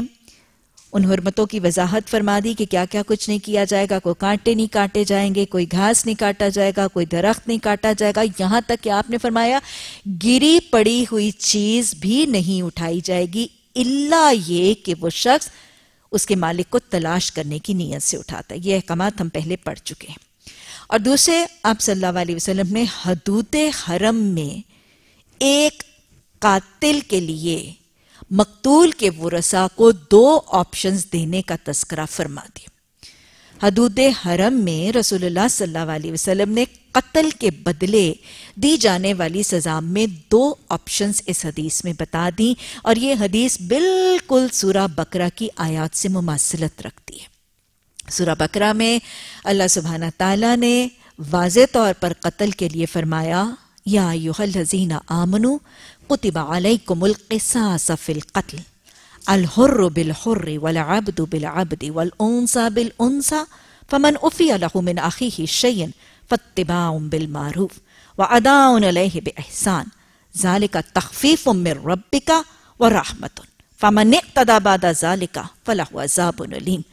وَلَكُمْ فِي الْقَسَاسِ حَيَاتٌ يَا أُولِي الْأَلْبَابِ تو گویا سورہ بکرہ کی ان آیات میں بھی قتل کی دو سزائیں تجویز کی گئی۔ ہم نے سورہ بکرہ کی تفسیر میں بڑی وضاحت سے بات کی تھی۔ ایک تو یہ کہ قصاص قتل کے بدلے قتل اور دوسرا یہ کہ دیت یا خون بہا۔ اصول کیا مل رہا ہے؟ قرآن اور حدیث کے احکامات مماثلت رکھتے ہیں۔ قرآن اور حدیث کی تعلیمات ہم آہنگ ہیں۔ رسول اللہ صلی اللہ علیہ وسلم کی حدیث کی باتیں آیت قرآن کی تشریح توضیح فرماتی ہیں۔ اور عطی اللہ و عطی الرسول صلی اللہ علیہ وسلم بنیادی طور پر ایک ہی دین کا لب لباب ہے۔ ایک اور بات سمجھ میں آ رہی ہے کہ حدود حرم حدود حرم جس میں عام طور پر قتل منع ہے، کیونکہ یہ واقعہ سارا کہاں شروع ہوا تھا؟ بنو لیس والوں کا قتل کا معاملہ اور اس کے بعد یہ رودات شروع ہوئی تھی۔ حدود حرم میں قتل اور خون بہانا اور خون ریزی یہ تو حرام ہے، لیکن قتل کے بدلے قتل یعنی قصاص کی اجازت ہے۔ گویا حدود اللہ حدود اللہ زمین کا ہر ٹکڑے پر نافذ ہونی ضروری ہے۔ حدود حرم وہ حد جس میں باقی معاملات کی حرمت زمین کے باقی ٹکڑوں سے فرق ہے۔ لیکن حدود اللہ، حدود حرم میں بھی نافذ ہونی لازم ہے۔ جہاں حدود اللہ کا معاملہ آ جاتا ہے، حدود حرم میں ان حدود کے مطابق ایک انسان کو قصاص کے بدلے قتل کرنا حدود الہی کے حوالے سے جائز ٹھہرا۔ حدود اللہ کی اہمیت واضح ہو رہی ہے۔ یہ سارے کا سارا جب آپ نے خطبہ ارشاد کیا، تو پھر یمن سے حدیث میں پتا چل رہا ہے کہ یمن سے ایک شخص اس محفل میں شامل تھا۔ گویا، رسول اللہ صلی اللہ علیہ وسلم کے دور میں لوگ دور دراز کے علاقے سے سفر کر کے حدیث کا اور دین کا علم سیکھنے کے لیے آتے تھے۔ اصول کیا ہے؟ دین کے علم کے حصول کے لیے سفر کرنا پسندیدہ اور مستحب ہے۔ اور موقع ہے۔ رب زدنی علما۔ یہ شخص یہاں پہ اس کا نام نہیں بتایا جا رہا ہے۔ ایک اور حدیث کو ملا کر اگر ہم دیکھیں تو اس شخص کا نام، یمنی شخص کا نام ابو شاہ بتایا گیا۔ آپ صلی اللہ علیہ وسلم نے جب اتنا طویل خطبہ اشاد فرمایا، یہ شخص یمن سے علم کے حرس کے حصول کے حرس میں آیا تھا۔ اتنا لمبا خطبہ جب اس نے سنا تو این ممکن ہے اس کو یہ لگا کہ یہ سارے کا سارا خطبہ مجھے یاد نہیں رہے گا۔ اس نے رسول اللہ صلی اللہ علیہ وسلم سے درخواست کی کہ یہ جو آپ نے سارا خطبہ ارشاد فرمایا، اس کو مجھے لکھوا دیجیے۔ کیا رویہ؟ حصول علم کا حرس نظر آ رہا ہے۔ حرس کیسے نظر آ رہا ہے؟ ایک تو یمن سے ٹریول کر کے آ رہے ہیں علم سیکھنے کے لیے۔ اور پھر علم سیکھ کر بے حسی نہیں ہے۔ اس کو یاد کرنے کا شوق ہے، شغف ہے، جو سنا ہے، اس کو محفوظ کرنے کا شوق ہے۔ اچھا طالب علم ایسا ہی ہوتا ہے۔ اللہ جو ہمیں تو نے توفیق دیے، ہم اتنی دور سے چل کے آتے ہیں۔ اللہ اس کی حفاظت کا شوق اور شخ بھی عطا فرما دے اور اللہ ہم سب کے حافظوں اور حفظ میں اضافہ بھی عطا فرما دے۔ اللہ حفظ کی صلاحیت میں وسطیں عطا فرما دے۔ آپ صلی اللہ علیہ وسلم سے لکھنے کی درخواست کی۔ گویا استاد سے معلم سے جائز درخواست کی جا سکتی ہے۔ تعلیمی محفل میں جائز معاملے کی درخواست کی جا سکتی ہے۔ آپ صلی اللہ علیہ وسلم نے درخواست کو قبول کیا۔ اصول کیا ہے؟ معلم کو اپنے طالب علم اور شاگردوں کی جائز خواہشوں کو تسلیم کرنا سنت رسول صلی اللہ علیہ وسلم سے ثابت۔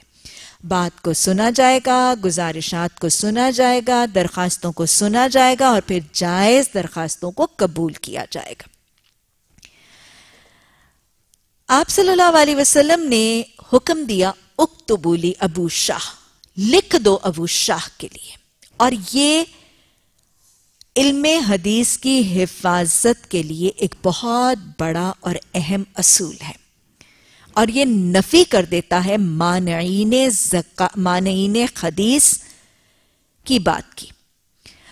جب میں نے آپ کو حفاظت حدیث کا ایک ہم نے لیکچر انیشلی دیا تھا تو تب میں نے آپ کو بتایا تھا کہ وہ لوگ جو مانعین حدیث ہیں جو حدیث کی حقیقت کو مانتے نہیں ہیں اور جو حدیث پر ایمان نہیں لگاتے، جو موت رزین حدیث ہیں، جو حدیث کی حفاظت پر اعتراض کرتے ہیں، وہ سب سے بڑی حدیث جو آپ صلی اللہ علیہ وسلم کی اپنے حق میں، حدیث کے اعتراض اور حدیث کی عدم حفاظت کے لیے جو موت رزین حدیث یا مانعین حدیث جو حدیث کوٹ کرتے ہیں، وہ یہ کہ آپ کی ایک مکی حدیث ہے کہ آپ صلی اللہ علیہ وسلم نے حدیث لکھنے سے منع کیا۔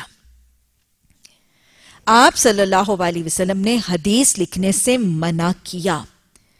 یہ معنی حدیث یا جو حدیث کی حفاظت کا شک کا معاملہ پیدا کرتے ہیں، وہ اس مکی دور کی حدیث کو کوٹ کرتے ہیں کہ آپ صلی اللہ علیہ وسلم نے حدیث کو لکھنے سے منع کیا اور پھر اس کے بعد وہ ایک تھاٹ پروسیس چلاتے ہیں۔ وہ کہتے ہیں، چونکہ آپ نے منع کیا، آپ کی حیات طیبہ میں حدیث لکھی نہیں گئی، بہت دیر بعد میں بھی نہیں لکھی گئی اور پھر اس کے بعد کہیں تین چار سو سال کے بعد لکھی گئی، گویا یہ محفوظ نہیں ہے۔ وہ ایک مکی دور کی حدیث کو حوالہ بنا کر حدیث کی عدم حفاظت کا حوالہ دیتے ہیں۔ وہ حدیث صحیح ہے نو ڈاؤٹ وہ حدیث صحیح حدیث ہے اور صحیح روایات سے ثابت ہے۔ لیکن بات میں نے آپ کو تب بھی بتائی تھی، آج میں پھر دہراؤں گی۔ یہ مناہی اور یہ رکاوٹ آپ صلی اللہ علیہ وسلم نے ابتدائی مکی دور میں کی تھی۔ اور اس وقت حکمت کیا تھی؟ آپ کو پتا یہ لوگ نو مسلم تھے؟ یہ اللہ کے کلام اور اللہ کے کلام کی زبان سے ابھی نہ آشنا تھے۔ قرآن کی آیات ان کے لیے بالکل ایک نیا کلام تھی اس وقت اس چیز کو بچانے کے لیے، کیونکہ آپ کو پتا کہ جب وہی نازل ہوتی تھی تو آپ کتابت وہی تو فوراً کرواتے تھے، قاتبین وہی موجود ہوتے تھے، وہاں وہی نازل ہوتی تھی، ادھر کتابت وہی ہوتی تھی، ادھر وہی لکھتی جاتی تھی۔ انیشل پیریڈ میں جب وہی کی زبان اور وہی کی لینگویج ان عربوں کے لیے بھی بالکل نہیں تھی، یہ ناشنا تھے اس زبان سے، تو اس انیشل پیریڈ میں یہ چیز، یہ امکان بچانے کے لیے کہ کہیں حدیث اور قرآن خلط ملت نہ ہو جائے۔ قرآن کی آیات اور حدیث کے جملے آپس میں مل نہ جائیں۔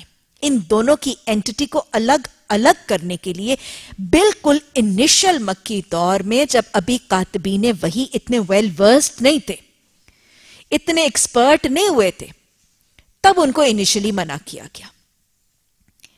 لیکن اس کے بعد جب کاتبین وہی کی تعداد بھی بڑھ گئی، ان کا تجربہ بھی بڑھ گیا، ان کو فہم اور فراست بھی مل گئی، وہ اللہ کے کلام کی زبان سے آشنا بھی ہو گئے فیملیئرائز بھی ہو گئے اور ان کو کوئی مسئلہ نہیں ہوتا تھا۔ اس کے بعد ایک نہیں، اس واقعے جیسے اور بہت سے واقعات موجود ہیں تاریخ جب آپ نے خود لکھوایا، آپ نے خط و کتابت کروائی، آپ نے خود ڈکٹیٹ کروائی حدیث، آپ نے لکھنے کی تاکید فرمائی، آپ نے لکھنے والوں کی فرمائش پر لکھوایا، اور آپ نے حافظے کی کمی کی شکایت کرنے والوں کو لکھنے کا حکم دیا۔ اور یا آپ کے سامنے لکھنے والوں نے لکھا اور آپ نے منع نہیں کیا۔ بہت سے واقعات موجود میں پھر دوہرا رہی ہوں۔ یا آپ نے خود ڈکٹیٹ کروا کے لکھوایا۔ املا خود کروائی۔ کسی نے حافظے کی کمی کا شکار ہونے کا تذکرہ کیا، آپ نے لکھنے کا مشورہ اور تجویز خود دی۔ آپ سے کسی نے لکھنے کا کہا یا لکھوانے کا کہا تو آپ نے لکھنے کا کہا۔ آپ کے سامنے لوگوں نے لکھا اور آپ نے منع نہیں کیا۔ یہ چاروں افعال حیات طیبہ میں اس بات کی واضح دلیل ہے کہ حدیث کو تحریری طور پر لکھنے کی تاکید نمونے حدیث طیبہ میں موجود ہیں۔ آپ کی اس تاکید کے مطابق صحابہ اکرام نے حیات طیبہ میں حدیث لکھی۔ اکتبولی ابو شاہ لکھ دو ابو شاہ کے لیے یہ واضح جواز ہے کہ آپ نے لکھنے کا حکم دیا اور اجازت دی اور ترغیب دی اور تاکید کی۔ تو لہٰذا وہ ایک ابتدائی مکی دور کی حدیث کو پکڑ کے یہ جواز بنا لینا کہ حدیث نہیں لکھی گئی تھی، یہ درست طریقہ نہیں ہے۔ اس سے زیادہ صحیح احادیث لکھنے لکھوانے کی اجازت، تاکید اور تقریری احادیث سے زیادہ موجود ہیں۔ صحابہ اکرام نے لکھا، لکھوایا حدیث حیات طیبہ میں محفوظ کر دی گئی اور بہت سے صحیفے، حضرت علی، حضرت ابو خریرہ بہت سے صحابہ اکرام کے صحیفے حیات طیبہ میں موجود تھے۔ گویا حدیث محفوظ ہے۔ اس سے ایک اور بات پتہ چل رہی ہے۔ علوم الحدیث کے لیے بھی اور عام علم کے حصول اور اضافے کے لیے لکھنا اور کتابت بہت اہم ہے۔ ریڈنگ اور ریڈنگ کے ساتھ جب تک رائٹنگ نہ ہو ریڈنگ اور رائٹنگ دونوں ایجوکیشنل سکلز ہیں۔ ریڈنگ رائٹنگ پڑھنا، لکھنا اور سننا، یہ تین آلات ہیں، یہ تین ٹولز ہیں ایجوکیشن اور لرننگ کے۔ اور یہ تینوں ضروری ہیں۔ پڑھنا بھی ضروری ہے، پڑھ کے لکھنا بھی ضروری ہے۔ پڑھانا بھی ضروری ہے، لکھوانا بھی ضروری ہے۔ سننا بھی ضروری ہے، سنانا بھی ضروری ہے۔ یہ تین ٹولز ہیں، یہ تین آلے ہیں ایجوکیشن کے۔ گویا لکھنا اور لکھوانا پڑھنے کا ایک بہت یا تعلیم کا ایک بہت بڑا آلہ کار ہے۔ سورہ رحمان میں بھی اللہ سبحانہ تعالیٰ نے جہاں الرحمن علم القرآن، وہاں پر علامہ بالقلم کا تذکرہ بھی فرمایا ہے۔ اللہ سبحانہ تعالیٰ نے سورہ نون یا سورہ القلم نون والقلم کی قسم بھی کھائی ہے۔ تخلیق مخلوق میں اللہ سبحانہ تعالیٰ نے سب سے پہلے قلم کی تخلیق فرمائی۔ اور پھر لکھنے والے ہاتھوں کو اللہ نے کرامن قاتبین کہا۔ کرامم برارا کہا۔ نیکو کاروں کے ہاتھ ہیں جو لکھنے لکھانے میں مصروف۔ اللہ ہمارے ہاتھوں کو ان ہاتھوں میں سے ہاتھ بنا دے۔ اور اللہ ہمارے ہاتھوں کی ان سرگرمیوں کو قبول بھی فرما لے۔ یاد رکھیے گا حدیث دہرا لیجیے، لکھنا، پڑھنا کتنا اہم ہے اور لکھنے اور کتابت کی اہمیت کتنی زیادہ ہے۔ آپ صلی اللہ علیہ وسلم نے فرمایا، عزت والے ہاتھ ہیں جو لکھنے کے لیے مصروف ہیں۔ اللہ ان کی تھکاوٹوں کو بھی قبول کر لینا۔ اللہ ان کی کوششوں کو بھی قبول کر لینا۔ اللہ جو یہ لکھتے ہیں ان کے ہاتھ سے محو نہ کرنا، اس کو سما بھی دینا۔ آپ صلی اللہ علیہ وسلم نے فرمایا، قیامت کے دن، قیامت کے دن عالم کے قلم کی سیاہی کو اور شہید کے خون کے قطرے کو تولا جائے گا۔ یہ ہے لکھنے کی فضیلت۔ شریعت، دین، حدیث، قرآن کی تفسیر، تعلیم شرع لکھنے کی اہمیت۔ قیامت کے دن شہید کے خون کے قطرے اور عالم کے قلم کی سیاہی کو تولا جائے گا۔ عالم کے قلم کی سیاہی کا وزن شہید کے خون کے قطرے سے بڑھ جائے گا۔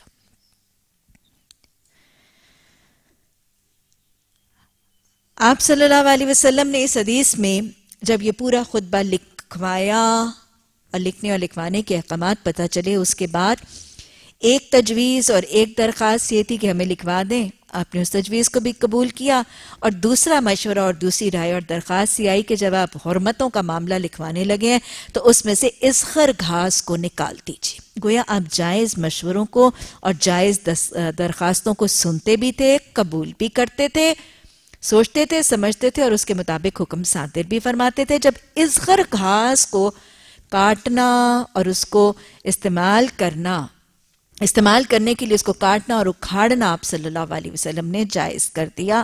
یہ خاص قسم کا خوشبودار گھاس تھا جس کو یہ اپنے گھروں کی چھتوں پر، اپنے گھروں میں بستر کے لیے اور اور مختلف مقامات پر یہ استعمال کرتے تھے۔ اور ایک مقام جو مجھے آج یاد آ رہا ہے، حضرت مصعب بن عمیر کی شہادت کا وقت۔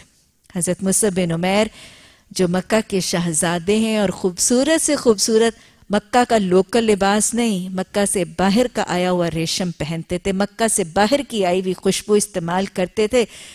جب دین اسلام کے دائرے میں داخل ہوئے تھے نا، تو بس دار ارقم کے قیدی بن کے رہ گئے تھے۔ مدینہ میں رسول اللہ صلی اللہ علیہ وسلم کے دین کے مبلغ بنا کر بھیجے گئے۔ اور پھر وہاں پہ جب شہید ہوتے ہیں تو یہ شہزادہ جو اپنے اپنی جوانی اور اپنے قبول اسلام سے پہلے بہترین لباسوں میں بلبوس ہوتا تھا، یہ شہزادہ اس کی وفات کے وقت ان کے لیے کفن کا کپڑا بہت تھوڑا تھا۔ اور کفن کا کپڑا اتنا تھا کہ صحابہ فرماتے ہیں کہ جب اس کفن کے چھوٹے سے کپڑے کے ساتھ سر ڈھانپا جا رہا تھا تو پاؤں کھل جاتے تھے۔ شہید ہے۔ اللہ مرزقنا شہادتن فی سبیلک۔ سر ڈھانپتے تھے تو پاؤں کھل جاتے تھے، پاؤں ڈھانپتے تھے تو سر کھل جاتا تھا۔ آپ صلی اللہ علیہ وسلم نے فرمایا، میں سب کا سر ڈھانپ دو اور پاؤں پر اسخر گھاس ڈال دو۔ تو لہٰذا یہ وہ اسکر گھاس ہے جو یہ اپنے گھروں میں اور اپنی قبروں میں استعمال کرتے تھے۔ اللہ سبحانہ تعالیٰ، اللہ سبحانہ تعالیٰ ہمیں اپنی اور اپنے رسول صلی اللہ علیہ وسلم کی محبت عطا فرما۔ اور اللہ سبحانہ تعالیٰ ان کاموں کی اور ان عملوں کی محبت عطا فرما جو ہمیں تیری محبت تک پہنچا دیں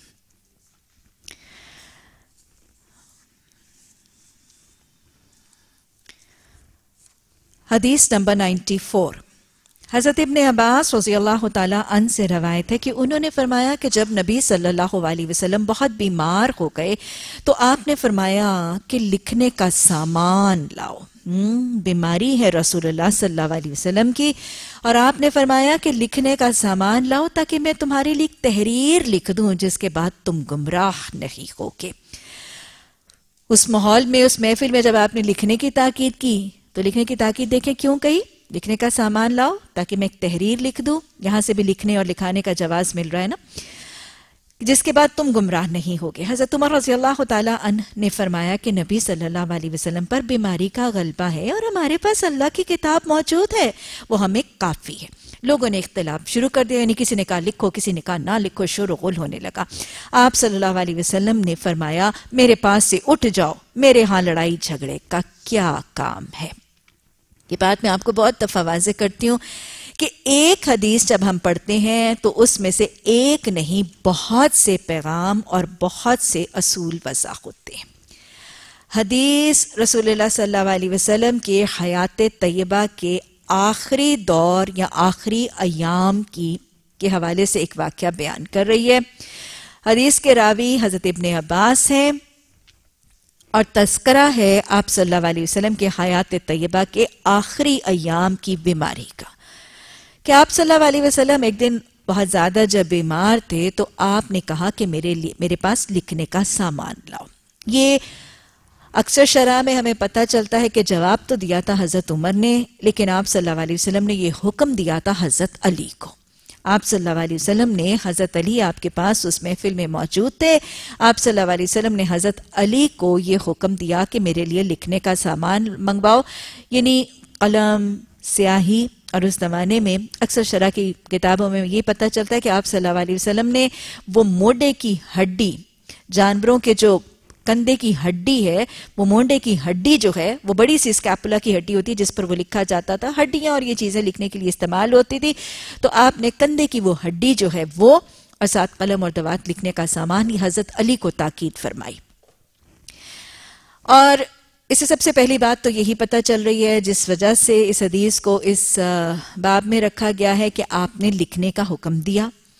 آپ نے حدیث کو لکھوایا، لکھنے کی تاکید کی اور یہ دوسرا جواز، یہ دوسرا واقعہ ہے جیسے یہ واضح طور پر پتہ چلتا ہے کہ آپ نے قطابت حدیث کروائی۔ آگے چلنے سے پہلے اگر ہم ہلکا سا غور کریں، آپ صلی اللہ علیہ وسلم بیمار ہیں۔ بیماری کی تکلیف، بیماری کی شدت اور پریشانی میں بھی آپ کی فکر کا پیمانہ نظر آ رہا ہے۔ اس بیماری کی کیفیت میں بھی آپ کی فکر کیا ہے؟ لکھنا، لکھانا، لکھوانا آپ کی غالب فکر ہے۔ آپ لکھ رہے ہیں، لکھوا رہے ہیں، بتا رہے ہیں۔ کیوں؟ یہ غالب فکر کیا ہے؟ تاکہ دین کے احکامات محفوظ ہو جائیں۔ یہ فکر ہے کہ میں لکھوا دوں۔ یہ فکر کیوں ہے آپ کو؟ غالب فکر آپ کی یہ نظر آ رہی ہے کہ میں لکھوا دوں۔ اور اس فکر کے پیچھے انڈر لائن کاز کیا ہے؟ تاکہ دین کے احکامات محفوظ ہو جائیں۔ تاکہ دین کے تمام احکامات امت تک پہنچ جائیں۔ تاکہ امت دین کے کسی حکم سے محروم نہ رہ جائے۔ تاکہ کہیں ایسا نہ ہو کہ امت کو کچھ بات پہنچے نہ ہدایت کا کوئی ذریعہ ایسا نہ رہے جو ہدایت کا حکم ایسا نہ رہے جو امت تک پہنچے نہ اس لیے یہ فکر ہے اور یہ کوشش ہے کہ کہیں کسی حکم کے کم پہنچنے یا نہ پہنچنے کی وجہ سے امت گمراہ نہ ہو۔ امت کے ہدایت پانے، امت کے گمراہی سے بچنے، امت کی تعلیم اور امت کے فہم دین اور فقہ دین کے فکر ہے۔ اور پھر کس قدر امانت کا بھی احساس ہے۔ آپ صلی اللہ علیہ وسلم پاس دین کے احکامات اور وہی کی تعلیمات جو آئی تھی وہ آپ کے پاس امانت تھی اپنی امانت کو، کی خیانت میں بچنے کا کتنا احساس اور فکر نظر آ رہا ہے۔ اور کتنی صداقت نظر آ رہی ہے کہ جو سچ مجھ تک پہنچا ہے، وہ میں سچ پورے کا پورا پہنچا دوں۔ پورے کا پورا سچ پوری سچائی سے، سچ کی رہنمائی اور اس کی بلندی کے لیے پہنچا دو۔ فکر کا پیمانہ نظر آئے۔ اور پھر آپ دیکھیں کہ اتنی کوشش، اتنی فکر، اتنی صحیح، اتنی ایفرٹ کہ بیماری میں بھی کوشش اور ایفرٹ جاری ہے۔ اس کے باوجود بھی حجت الوداع کے موقع پر کیا پوچھتے ہیں؟ لوگو کیا میں نے تم تک اللہ کا پیغام پہنچا دیا؟ اتنی کوشش، اتنی ایفرٹ اتنی فکروں اور اتنی تندخی سے کیے ہوئے معاملے کے باوجود بھی یہ سوال کر رہے ہیں امت سے۔ ہم سب کے لیے لمحہ فکر ہے۔ ہم ذرا ایک لمحے کے لیے اپنا محاسبہ تو کریں۔ کیا ہمیں سیکھنے، سکھانے، لکھنے، لکھانے، سننے، سنانے کی اتنی فکر ہے؟ کیا ہمیں دین کی اشاعت اس کی تبلیغ، اس کے احکامات کی حفاظت کی اتنی فکر ہے؟ کیا ہم اپنی تکلیفوں میں، اپنی بیماریوں میں اپنے غموں میں باقی لوگوں کی ہدایت یا گمراہی کی اتنی تڑپ ہمیں یاد رہتی ہے؟ اپنی بیماری میں اور اپنے غم اور اپنے دکھ میں کیا ہمیں ارد گرد لوگوں کی ہدایت یا ان کو گمراہی سے بچانے کی اتنی فکر رہتی ہے؟ کیا ہمیں امت کی آقبت کی اتنی فکر ہے؟ یہاں تو اپنی آقبت کی فکر نہیں لوگوں کو۔ یہاں تو اپنی اور اپنے اہل خانہ کی آقبت کی فکر نہیں، وہاں پہ آقبت کی فکر کا حال دیکھیے کہ ساری امت کی آقبت کی فکر۔ کیا ہمارے اندر امانت کا اتنا شدید احساس ہے؟ کیا ہمیں سچے دین کی تبلیغ اور اشاعت کی اتنی فکر اپنے ہر ہر زندگی کے حال اور سچویشن میں ہے؟ سب اپنا محاسبہ کریں۔ اللہ حاسبنا حساب یسیرا۔ آپ صلی اللہ علیہ وسلم نے جب یہ کہنے، لکھنے کے لیے کہا، تو حضرت عمر نے، حضرت عمر نے آپ صلی اللہ علیہ وسلم کی جو شدید بیماری کی کیفیت تھی، اس کی حالت دیکھنے کے بعد آپ صلی اللہ علیہ وسلم کو ابھی لکھنے، لکھوانے کے مرحلے سے رکنے کا مشورہ دیا۔ یہ آپ صلی اللہ علیہ وسلم سے ناوز باللہ کوئی ڈس اگری کرنے کا طریقہ نہیں تھا۔ آپ کے آرام میں جو خلل آنا تھا، آپ کے آرام، آپ کے سہولت، آپ کے کمفرٹ کے لیے یہ تجویز دی گئی تھی۔ آپ کا تو حال یہ تھا کہ قرآن میں اللہ نے فرمایا تھا اللہ باخ النفس کہ محمد صلی اللہ علیہ وسلم، آپ تو ان لوگوں کی فکر میں اپنی جان کو ہلاک کر رہے ہیں۔ تو یہ لال اللہ کا باخ النفس کی کیفیت جب حضرت عمر نے دیکھی، تو آپ کے آپ کو اپنی آپ کو اپنے آپ کو ہلاکت میں ڈالنے سے بچانے کے لیے آپ کی ذرا سہولت اور آسانی کے لیے حضرت عمر نے تجویز دی۔ اور پھر حضرت عمر کا یہ کہنا کہ ہمارے پاس کتاب ہے کیونکہ اللہ سبحانہ تعالیٰ نے قرآن میں خود فرمایا ما فرت نفیل کتاب من شئی کہ ہم نے اس کتاب میں قرآن میں ہم نے کسی چیز کی کمی نہیں کی۔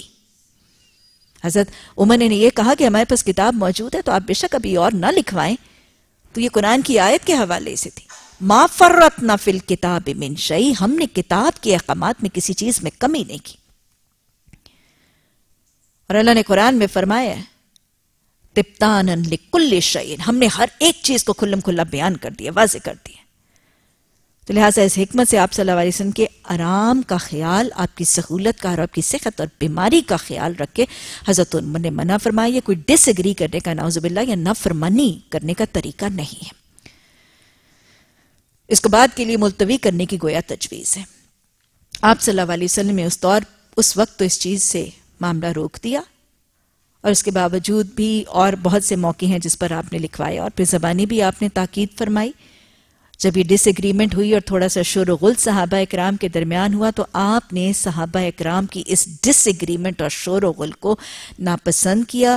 گویا مومنوں کے درمیان لڑائی، جھگڑا، مباحثہ، بحث، تکرار، جدال شدید ناپسندیدہ ہے۔ اللہ ہمیں اس اجتناب کی توفیق عطا فرمائے۔ باب تیس، باب رات کو علم اور نصیحت کی بات کرنا۔ یعنی رات کے وقت بھی یہ دعوت دین اور علم اور تعلیم کی بات ہو سکتی ہے۔ واقعات حدیث نمبر 95 حضرت ام سلمہ رضی اللہ تعالی عنہ سے روایت ہے کہ انہوں نے فرمایا کہ نبی صلی اللہ علیہ وسلم ایک رات بیدار ہوئے اور آپ نے فرمایا، سبحان اللہ، آج رات کتنے فتنے نازل کیے گئے اور کتنے خزانے کھولے گئے۔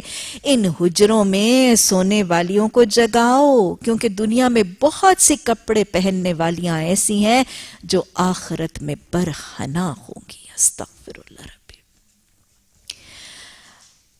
حدیث کی شرح سے ہمیں پتا چلتا ہے کہ آپ صلی اللہ علیہ وسلم کا یہ واقعہ اس دن کا ہے جب آپ صلی اللہ علیہ وسلم ام المومنین حضرت ام سلمہ رضی اللہ تعالی عنہ کے گھر قیام پذیر ہے حضرت ام سلمہ رضی اللہ تعالی عنہ کی باری ہے۔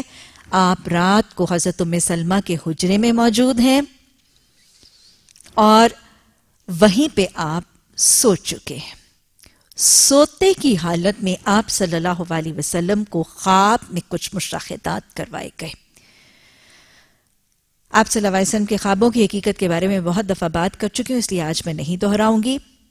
آپ کو خواب میں مشاہدہ کروایا گیا دو چیزوں کا۔ فتنوں کا نزول اور باران رحمت اللہ کی رحمت کے نزول کا، فتنوں کے نزول کا اور رحمت الہی کے نزول، دونوں چیزوں کا مشاہدہ کروایا گیا۔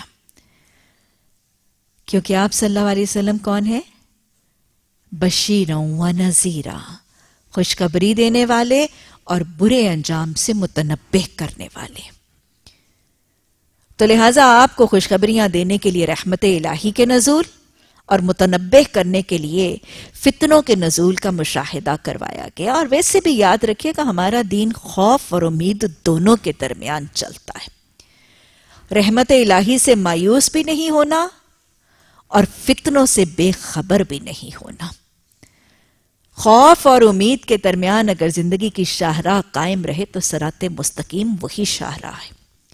آپ صلی اللہ علیہ وسلم کو بشیروں و نظیرہ کو دونوں مشاہدات کروائے گئے۔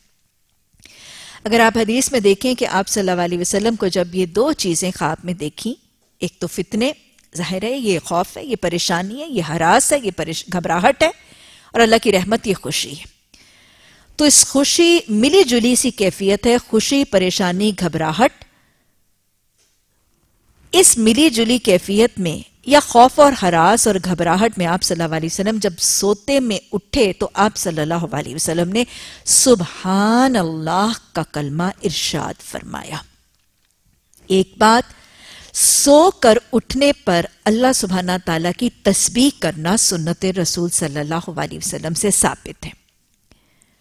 پریشانی میں، گھبراہٹ میں، ٹینشن میں، بے سکونی میں بھی اللہ سبحانہ تعالیٰ کی تسبیح کرنا سنت رسول صلی اللہ علیہ وسلم سے ثابت ہے اور یہ قرآن کے حکم ہی کے مطابق ہے کیونکہ اللہ نے قرآن میں فرمایا، بے سکونوں کے لیے، پریشانوں کے لیے، گھبرائے ہوئے لوگوں کے لیے اللہ نے قرآن میں فرمایا اللہ بے ذکر اللہ کی تتمائن القلوب۔ پریشان ہو، گھبرائے ہوئے ہو، خوف میں ہو، غم میں ہو، ٹینشن میں ہو استراب میں ہو۔ تمہارے دلوں کو سکون اور اطمینان اللہ کے ذکر سے ملے گا۔ تو اس ہی قرآن کی آیت کے حوالے سے ہر پریشانی اور ہر گھبراہٹ اور ہر اپسیٹ اور غمی کی حالت میں آپ صلی اللہ علیہ وسلم ذکر الہی کرتے ہوئے نظر آتے ہیں اور سبحان اللہ کا کلمہ ایک افضل اور ایک خوبصورت ذکر الہی کی شکل ہے۔ پسندیدہ کلمہ ہے ذکر کے لیے۔ ایک اور بات پتا چلتی ہے کہ آپ صلی اللہ علیہ وسلم نے صرف مومنوں کو کثرت سے ذکر کی، تاکید نہیں کی، سنت سے بھی آپ کے ذاکر ہونے کا نمونہ وضع ہوتا ہے۔ قول اور فعل میں کوئی تضاد نہیں۔ خواب میں آپ کو فتنوں کے نازل ہونے کا مشاہدہ کروایا گیا۔ آپ نے فطروں کے اترنے کے نزول یا فطروں کے نزول کا تذکرہ فرمایا۔ اس کی تعبیر اس بات سے لی گئی کہ آپ کے دور کے بعد فتنوں کا دور ہوگا۔ آپ کو جو خواب میں یہ مشاہدہ کروایا گیا، اس کی تعبیر یوں لی گئی کہ آپ کے دور، آپ کے حیات طیبہ کے بعد ایک فتنوں کے دور کا آغاز ہوگا اور ایسے ہوا۔ اگر آپ حضرت عثمان کا دور دیکھتے ہیں، حضرت ابو بکر ہی کے دور میں۔ معنی زکاة بھی آئے، جھوٹے دایان نبوت بھی آئے۔ تو یہ فتنوں کے دور کا تو آغاز ہو گیا آپ صلی اللہ علیہ وسلم کی حیات طیبہ کے بعد۔ یہ اس کی تعبیر تھی۔ اب آپ صلی اللہ علیہ وسلم کا رویہ دیکھیں کہ جب خواب میں فتنے، مصیبتیں، آزمائشیں اور تکلیفوں کے نزول کا مشاہدہ آپ نے کیا، تو آپ صلی اللہ علیہ وسلم نے ان فتنوں اور آزمائشوں سے بچنے کے تدارک کے لیے کیا کیا؟ اہل خانہ کو اور حجرات میں امہات المومنین کو جگانے کا حکم دیا۔ کیونکہ اس وقت آپ صلی اللہ علیہ وسلم ایک ام المومنین کے حجرے میں ہیں اور آپ کو پتا ہے کہ مسجد نبی کے سہن کے گرد حجرات ہیں، امہات المومنین کے۔ اس وقت وہی خواتین اسلام وہاں پہ گرد موجود ہیں۔ تو جب فتنوں کا اور آزمائشوں اور تکلیفوں کے نزول کا آپ نے مشاہدہ کیا، تو اس حالت میں آپ نے جگانے کا حکم دیا، گویا غفلت سے اٹھانے کا حکم دیا۔ کیونکہ اس وقت خواتین وہی آپ کے گرد موجود تھیں، آپ نے سب کو نماز کے لیے جگانے کا حکم دیا۔ اصول کیا مل رہا ہے؟ ازواج، اہل خانہ اور تمام لوگوں ہی سے خیر، خواہی اور محبت کا طریقہ پھر کیا ہے؟ ان کو فتنے سے بچانے کی فکر کرنا، فتنوں سے، آزمائشوں سے، ایمان کی گھٹنے کی سچویشن سے بچانے کی فکر کرنا یہی محبت کا تقاضا ہے۔ یہ وہی تقاضا ہے جو قرآن کے حکم سے مماثلت رکھتا ہے۔ قو انفسکم واہلیکم نارا۔ صرف اپنے آپ کو ہی نہیں، فتنوں کو اترتے ہوئے دیکھا تھا، خود نماز میں لگ جاتے نہیں، اہل خانہ کو بھی جگائے۔ یہی اہل خانہ سے، یہی ازواج سے، یہی اہل و عیال سے محبت کا تقاضا ہے۔ کہ ان کو فتنوں میں الجھنے اور ایمان کی آزمائشوں سے بچنے کی، بچانے کی کوشش کی جائے، یہی صحیح حقیقی محبت اور خلوص اور اخلاص کا تقاضا ہے۔ اور یہ وہی ہے جو اللہ نے فرمایا، نساؤکم حرس اللہ تمہاری بیویاں، تمہاری کھیتیاں ہیں۔ اسی حکم کے تقاضے کے مطابق رسول اللہ صلی اللہ علیہ وسلم اپنی ان بیویوں کا تربیت اور تزکیہ فرماتے ہوئے نظر آتے ہیں۔ اور پھر اسے ایک اور بات پتہ چل رہی ہے۔ کہ آپ کی ازواج متحرات کی تربیت میں ایک واضح نشانی نظر آ رہی ہے کہ آپ امہات المومنین کو اور ازواج متحرات کو یہ واضح طور پر ثابت ہوتا ہے اس بات سے کہ آپ نے ان کو یہ واضح طور پر سکھایا کہ تم اپنی بخشش پر اس بات پر تکیہ لگا کے نہ بیٹھو کہ تم ازواج نبی ہو۔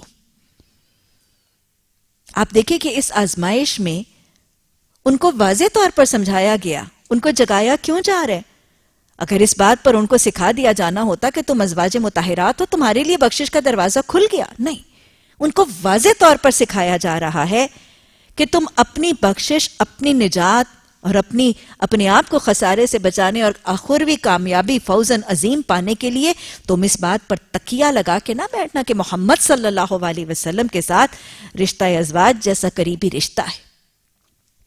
وہ جو اللہ سبحانہ تعالیٰ نے فرمایا نا، لہا ما قصبت وَلَكُمْ مَا قَصَبْتُمْ وَلَا تُسْعَلُونَ عَمَّا كَانُوا يَعْمَلُونَ تمہارے لیے وہ ہے جو تم نے کمایا اور ان کے لیے وہ ہے جو انہوں نے کمایا، ہر ایک کے لیے اپنا قصب باش تو پھر دہرا رہی ہوں اہل خانہ، ازواج، اہل و عیال سے محبت کا لازمی تقاضا۔ اپنی فکر آخرت کے ساتھ ان کی فکر آخرت بھی کرنا۔ پھر نبی صلی اللہ علیہ وسلم کی ایک سنت نظر آ رہی ہے۔ ہر پریشانی میں، ہر فکر میں، ہر غم میں، ہر تنگی کی حالت میں، ہر گھبراہٹ میں، وَاسْتَعِينُ بِالصَّبْرِ وَالصَّلَاةِ۔ مشکلات میں، پریشانیوں میں، پریشانیاں آ جاتی تھیں یا آنے کے امکانات ہوتے تھے۔ پریشانی اتر پڑتی تھی یا پریشانی امڑتی بھی نظر آتی تھی تو آپ نماز کی طرف رجوع کرتے اور پلٹتے۔ تسبیح، ذکر الہی اور نماز کی طرف پلٹتے ہوئے نظر آتے۔ ہیں اور صرف نماز خود نہیں، پریشانیوں اور گھبراہٹوں کے آنے یا آنے کے امکان میں خود بھی پڑھتے ہیں اور اہل خانہ کو بھی پڑھاتے ہوئے نظر آتے ہیں۔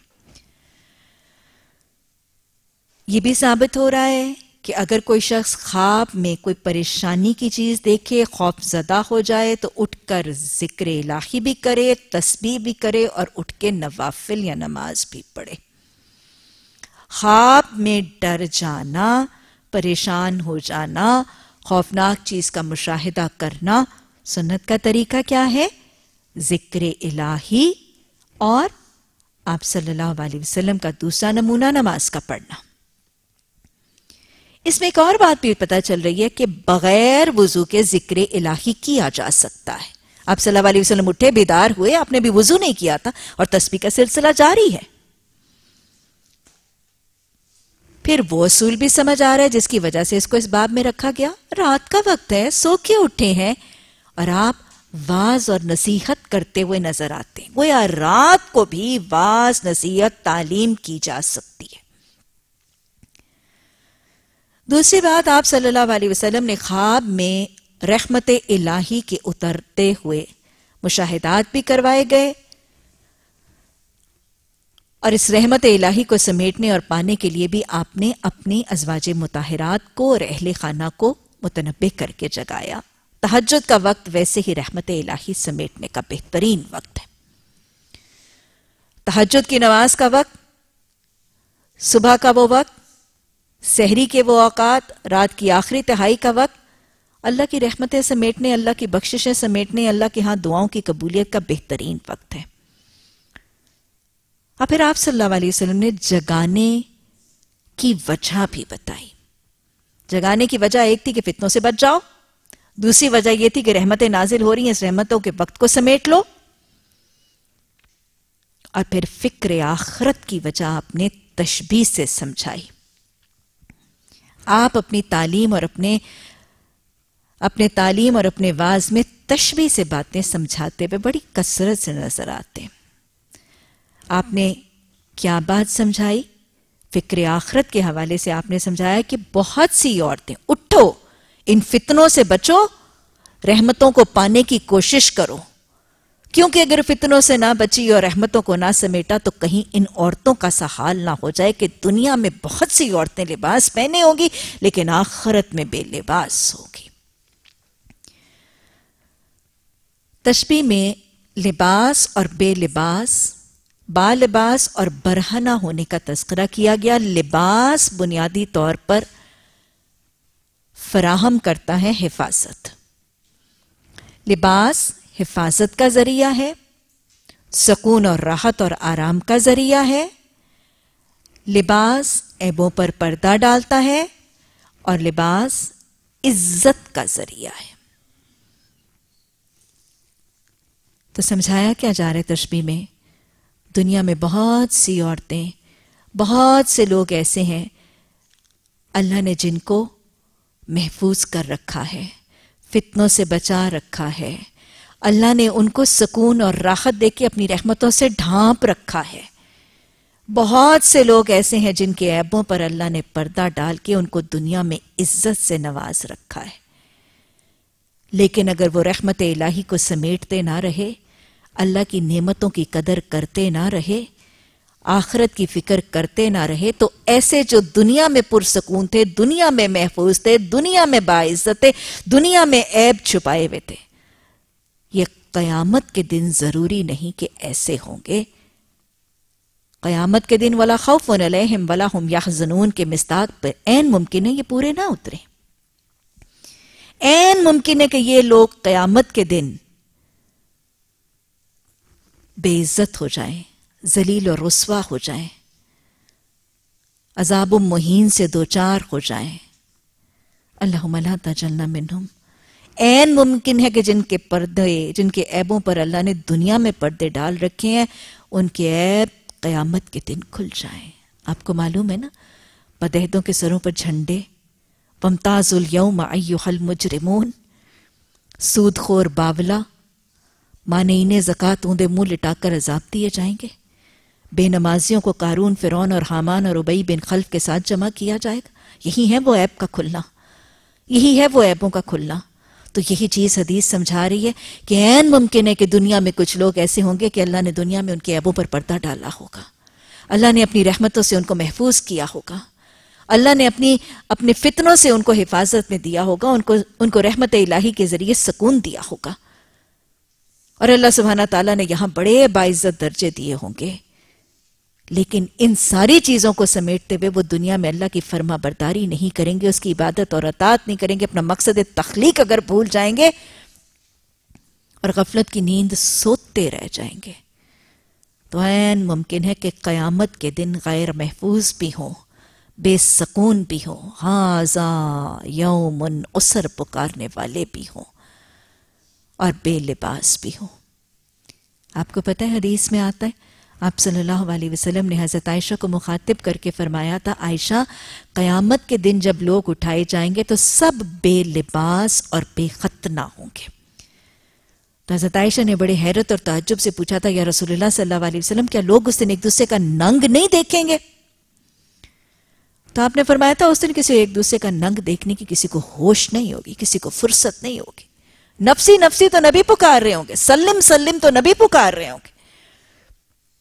اور آپ کو پتا ہے کہ سب سے پہلے لباس، سب سے پہلے میدان حشر میں آپ صلی اللہ علیہ وسلم نے فرمایا، میں حاشر ہوں۔ سب سے پہلے میدان قبر میں سے رسول اللہ صلی اللہ علیہ وسلم کو نکالا جائے گا۔ آپ صلی اللہ علیہ وسلم سب سے پہلے قبر سے نکلیں گے۔ آپ صلی اللہ علیہ وسلم حاشر ہیں، سب سے پہلے حشر کے میدان میں آپ حوض کوثر پہ وارد ہوں گے۔ لیکن لباس سب سے پہلے حضرت ابراہیم علیہ السلام کو نوازا جائے گا۔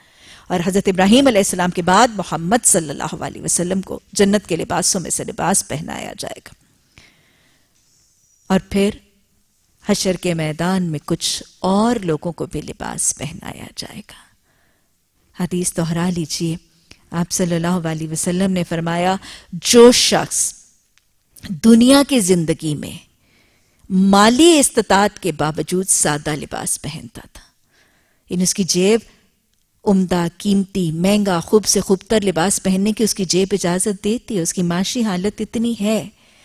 جو شخص مالی استطاعت کے باوجود بھی سادہ لباس پہنے گا، یہ دنیا کی زندگی ہے۔ تو قیامت کے دن اللہ سبحانہ تعالیٰ اسے مخاطب ہو کر فرمائیں گے، یہ جنت کے حلوں میں سے جو لباس چاہتے ہو، وہ اپنے لیے منتخب کر لو۔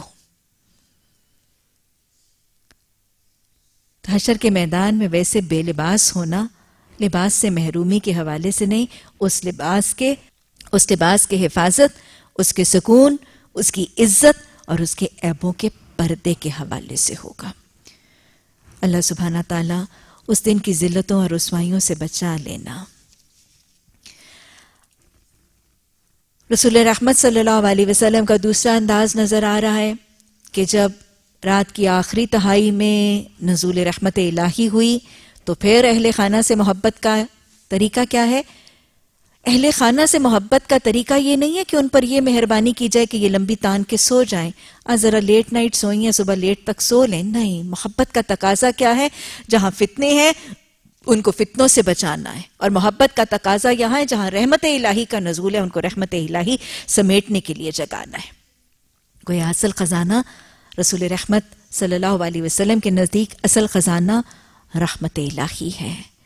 اللہم رحمتی کا ارجو، اللہم رحمتی کا ارجو، فلا تکلنی الى نفسی من طرفت عین وَأَصْلِحْ لِي شَأْنِي كُلَّهُ لَا إِلَهَ إِلَّا أَنْتَ اللہ سبحانہ تعالیٰ ہمیں اپنے اہل خانہ، اپنے ازواج اور اپنے اولادوں کی فکر کی توفیق عطا فرما۔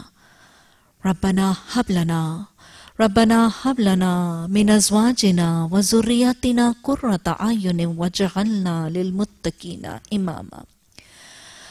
ربنا لا تزغ قلوبنا بعد إذ هديتنا وهب لنا من لدنك الرحمة إنك أنت الوهاب سبحانك اللهم وبحمدك نشهد أن لا إله إلا أنت نستغفرك ونتوب إليك سبحان ربك رب العزة عما يصفون وسلام على المرسلين والحمد لله رب العالمين آمين ثم